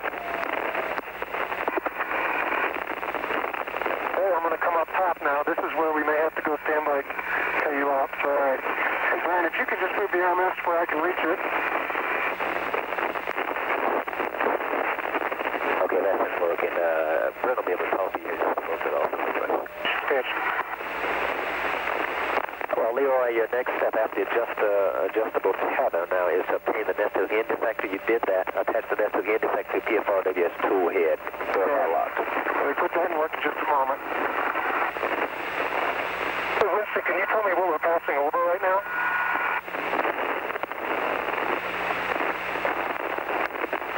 Hey, Leroy, what do you want me to do with the arm in the meantime? Okay, go ahead. Stay there. I'm done with the arm. You can go back to, you can go to the, um, I'll go, I'll go back the grapple position. Pre-grapple. That's correct. That's where we need to be.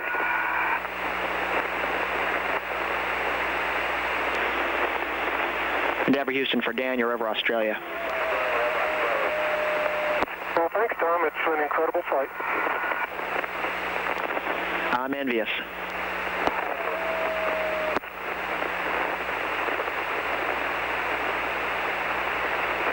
Remember, the uh, the pin is inverted to your point of view, right? I know, Dan. I'm, I'm, I'm in, I'm loaded. Okay. I'm just seeing the roll being like 180 degrees off. It looks good. Don't worry. Okay. Where it's supposed to be. Okay, about three more inches, you'll be dead center. Three more inches forward. Another inch. dead center. You just come straight in end effector mode. I do this orbit arm. Okay, you're about four inches. Okay, I can put it in from here if you want to roll it around. Okay, uh, Dan, we're in, the roll's exactly where it's supposed to be. I'm going to go, when you give me a go, I'm going to go for capture. But Brent, I'm showing the, the, um... Dan, the camera's right where it's supposed to be. I'm showing the, um... The, the parts of the, um... End effector that go into the, uh... That go into the, um... Outside pieces, the three pieces each at 120 degrees to each other. Yeah. I'm showing that off by 180 degrees.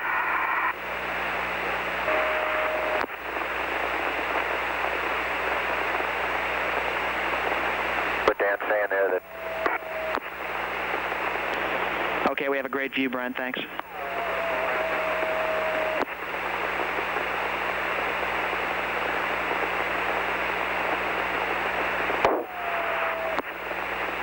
Endeavour, Brent, uh, PDRS is looking at this. Just one moment. Hey, we're standing by. Hey, let me know when we're go for uh, capture. You go for capture. I showed good capture. I saw the snares grab it nicely. Okay, uh, I got good capture, Dan. Let me know when you go for rigid. You go for rigid. Here comes rigid. I'm waiting. I see it rigidizing. We've got rigid. Great, fantastic. Good job, guys. Okay, now, uh, Brent, if you could uh, come uh, straight toward me a little bit. Stand by, Dan. I'm waiting for the rigid talk back. Okay, I'm sorry. And, um, Okay. Winston, if you could tell me again um, uh, where to hook the tether to, um, which end of the end effector to hook the tether to. Okay, Dan, you're going to hook the uh, hook that to the uh, yellow end of the end effector. Okay. Okay, Dan, move it down towards you. Okay, uh, stand by just one second, but I have to, because, because of the reconfig, I have to move Leroy's tether from uh, where it was to uh, the other side. So stand by. All right, we need to remember to rotate it back for storage. Okay, you're looking good. Both feet are, uh, your right foot is almost there. Right foot's in the, in the loop. Need your heel to move. There you go, your left's in. Your right, your right isn't quite in. There, now your right's in. What a sunrise, look at that. But you know what, Leroy? Your right is above the, uh, you know how that angle is? Okay, let me try again. How's that? Now you're in properly, and your right, and your left is in beautifully. Right? Okay, you're looking good from in here, Leroy. Dan, verify again that you uh, temporarily attached uh, Leroy's slide rod safety tether to the lunge rod. Uh, negative, uh, Winston. I'm going to do that after I hook him up so I don't have to go back and forth twice. Okay, and I can see you out of the window now. Okay, that works super. Okay, access and operate the PFRWS picture controls. Yeah, Winston, I'm heading over to the um, RU. Okay, Dan. Okay, pitch control works. And I might make a pass by those windows. My way. We're watching. Okay, Winston, pitch control works fine. Okay, Leroy, you want to access and operate the PFRWS tool head spindle. Tool head spindle works fine. Looks good. Nice and uh, smooth action. Okay, access and operate the yaw control to position the PFRWS around the ATFR. Okay, and uh, that works fine. General comment on the workstation station, the, the handles are a little low. They're fine for me, but someone tall, taller would, uh, might be a bit of a stretch. I've had that problem in the WETF, so we'll see what happens. So, Leroy, I guess that's most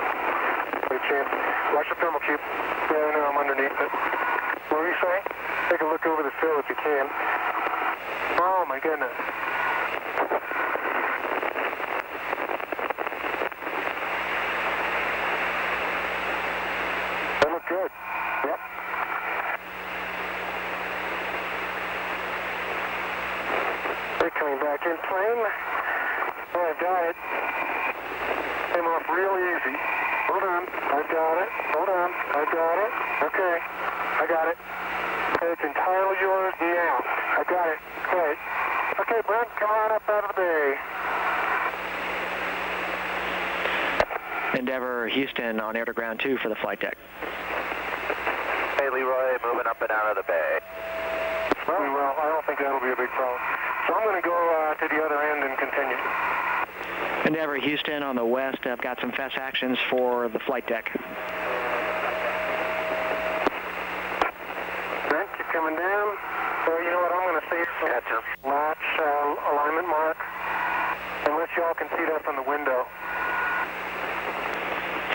Deck, we'd like the supply water dump using FES on 5-9er using FES B. Okay. Coming down. Keep going, keep going. You're almost there. You're at it. You're at the latch. Okay, it's latched. Okay, you can see how badly the uh, cables are bound up. Cables are bound up, yeah. Yep. You guys might want to take a picture of that for the ground. Okay, keep going.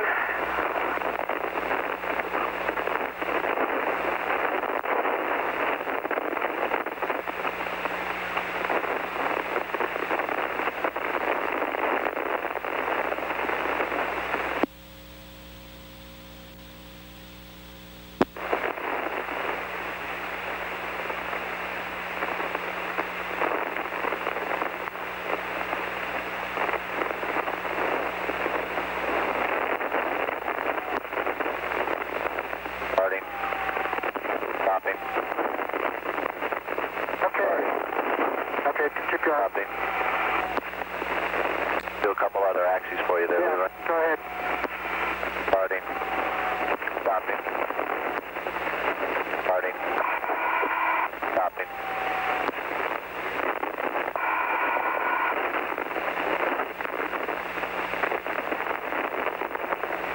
Two zero. I'm gonna uh, continue to yaw. Okay, Dan, I copy that. Houston, no action on the uh, PDRS slip. That's due to the ingress uh, from Dan. Okay, we copy. Thanks, Tom.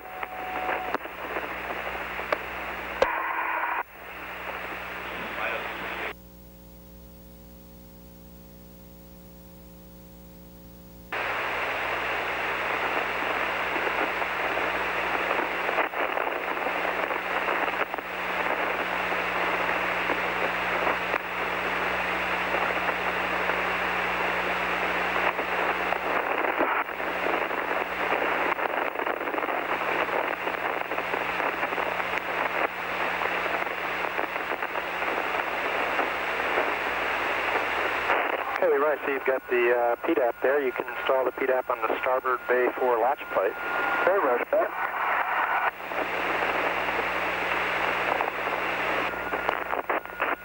And your next step is to unlock the TA line clamp. Okay, and let's see. And then that's, that's in work. Then it's, and there's primary jet firings coming up for both y'all. Okay. We're hanging on. Let us know when uh, they're going to stop. Just a couple minutes and uh, they'll be done. And Winston, then install and remove an avionics uh, line from that TA line clamp. Okay, and that will be in work after the, uh, the burn. And this configuration of the APFR, and I'm going to do three clockwise on the V-bolt.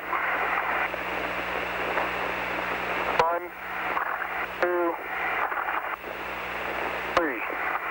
Endeavour Houston, we're two minutes from the ZOE. We'll get you back in approximately seven minutes for the flight deck, your go for the SM checkpoint at the end of 14.7 cabin repress. And for IV and EV, the plan right now is for Leroy to proceed as planned on the timeline. For EV3, we're going to give you some easy tasks following your utility box till you both meet up at PWP setup. That's the plan for now. Copy.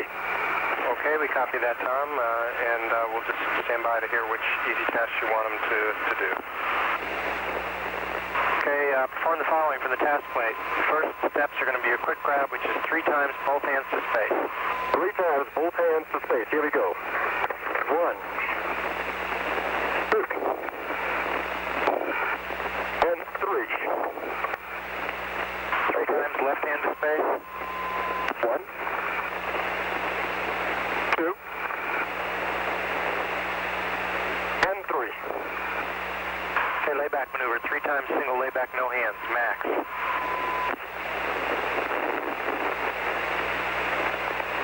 Okay, that's one.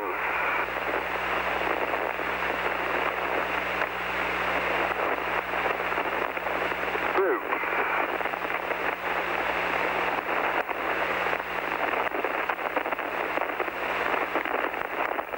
And three. Never a minute and a half to a TDRS handover. The first seven minutes on east will be in blockage. You have the cameras. Okay, sir, we copy that.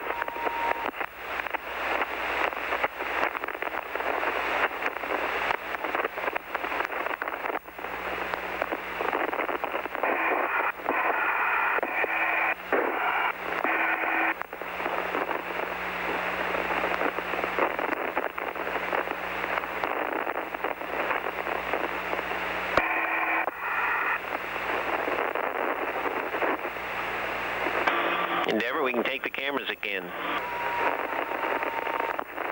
Okay, Story, they're all yours. Thank you. Uh, my BRT is going to go back here anyway.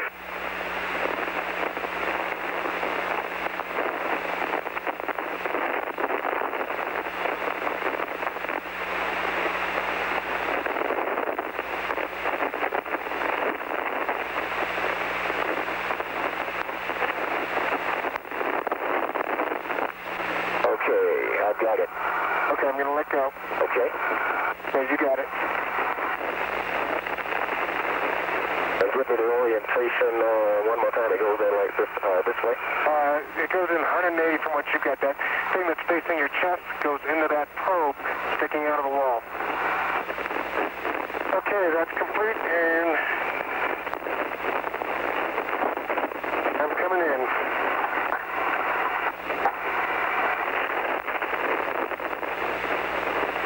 Okay, I'm in the airlock. Okay, once you egress to your lock, uh, you can both set your waters to off. Water's off. Immediately, wa- immediately water's off.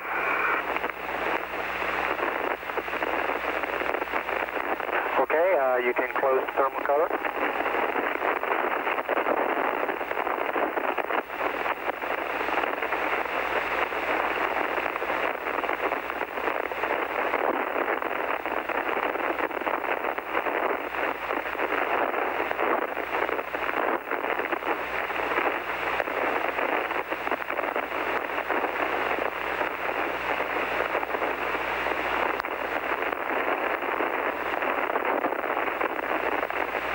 Thermal cover's closed.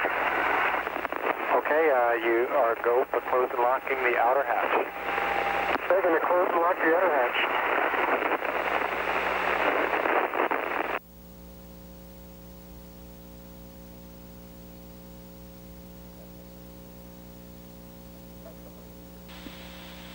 That's complete. Thanks. That's an intermittent leak, and it's uh, understood. We might have to do that again during the flight. Also, we're coming up on a handover with TDRS in two minutes. It's an extended handover, and we'll get you back at 1938. Okay, Tom, thanks.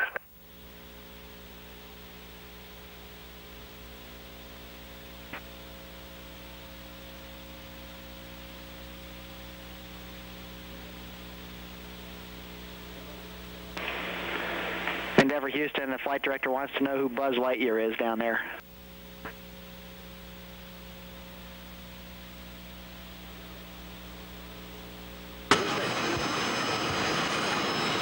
Brad, do you remember where that grilled chicken was? Which locker? I'll get it. Sure, let's go in the oven. It's in, it, it's in his stash. Yeah, he's got it stashed. It's stashed. It's back here. You'll I'll never get it on find the swap out, Brian, whenever you're ready to start. You'll never find it. I'll Yeah, get I'm it. ready. You ready? Okay. Let's swap. You'll never know. You'll never find it. I'll get it. Oh, man. You'll never know. My heart's going, hey! Stop!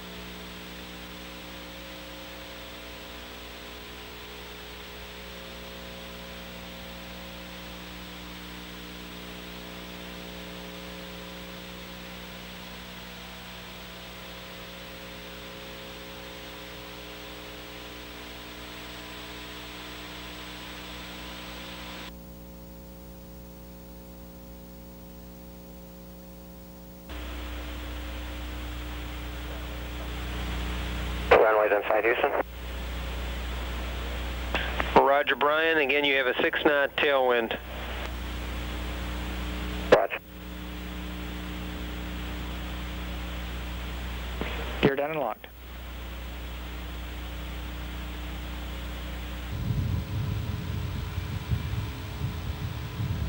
Commander Brian Duffy uh, now pulling the nose of the orbiter up in the pre-flare maneuver, altitude 700 feet.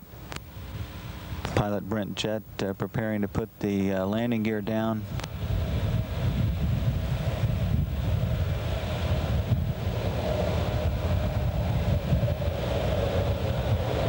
And the landing gear is down and locked.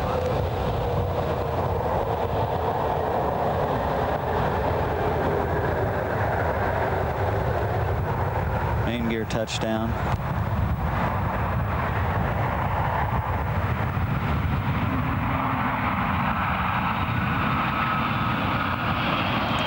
And nose gear touchdown. Endeavour rolling out on runway 15 at the Kennedy Space Center, completing Endeavour's 10th mission in space, the 74th mission in the shuttle program, completing 142 orbits of the Earth, traveling 3.7 million miles.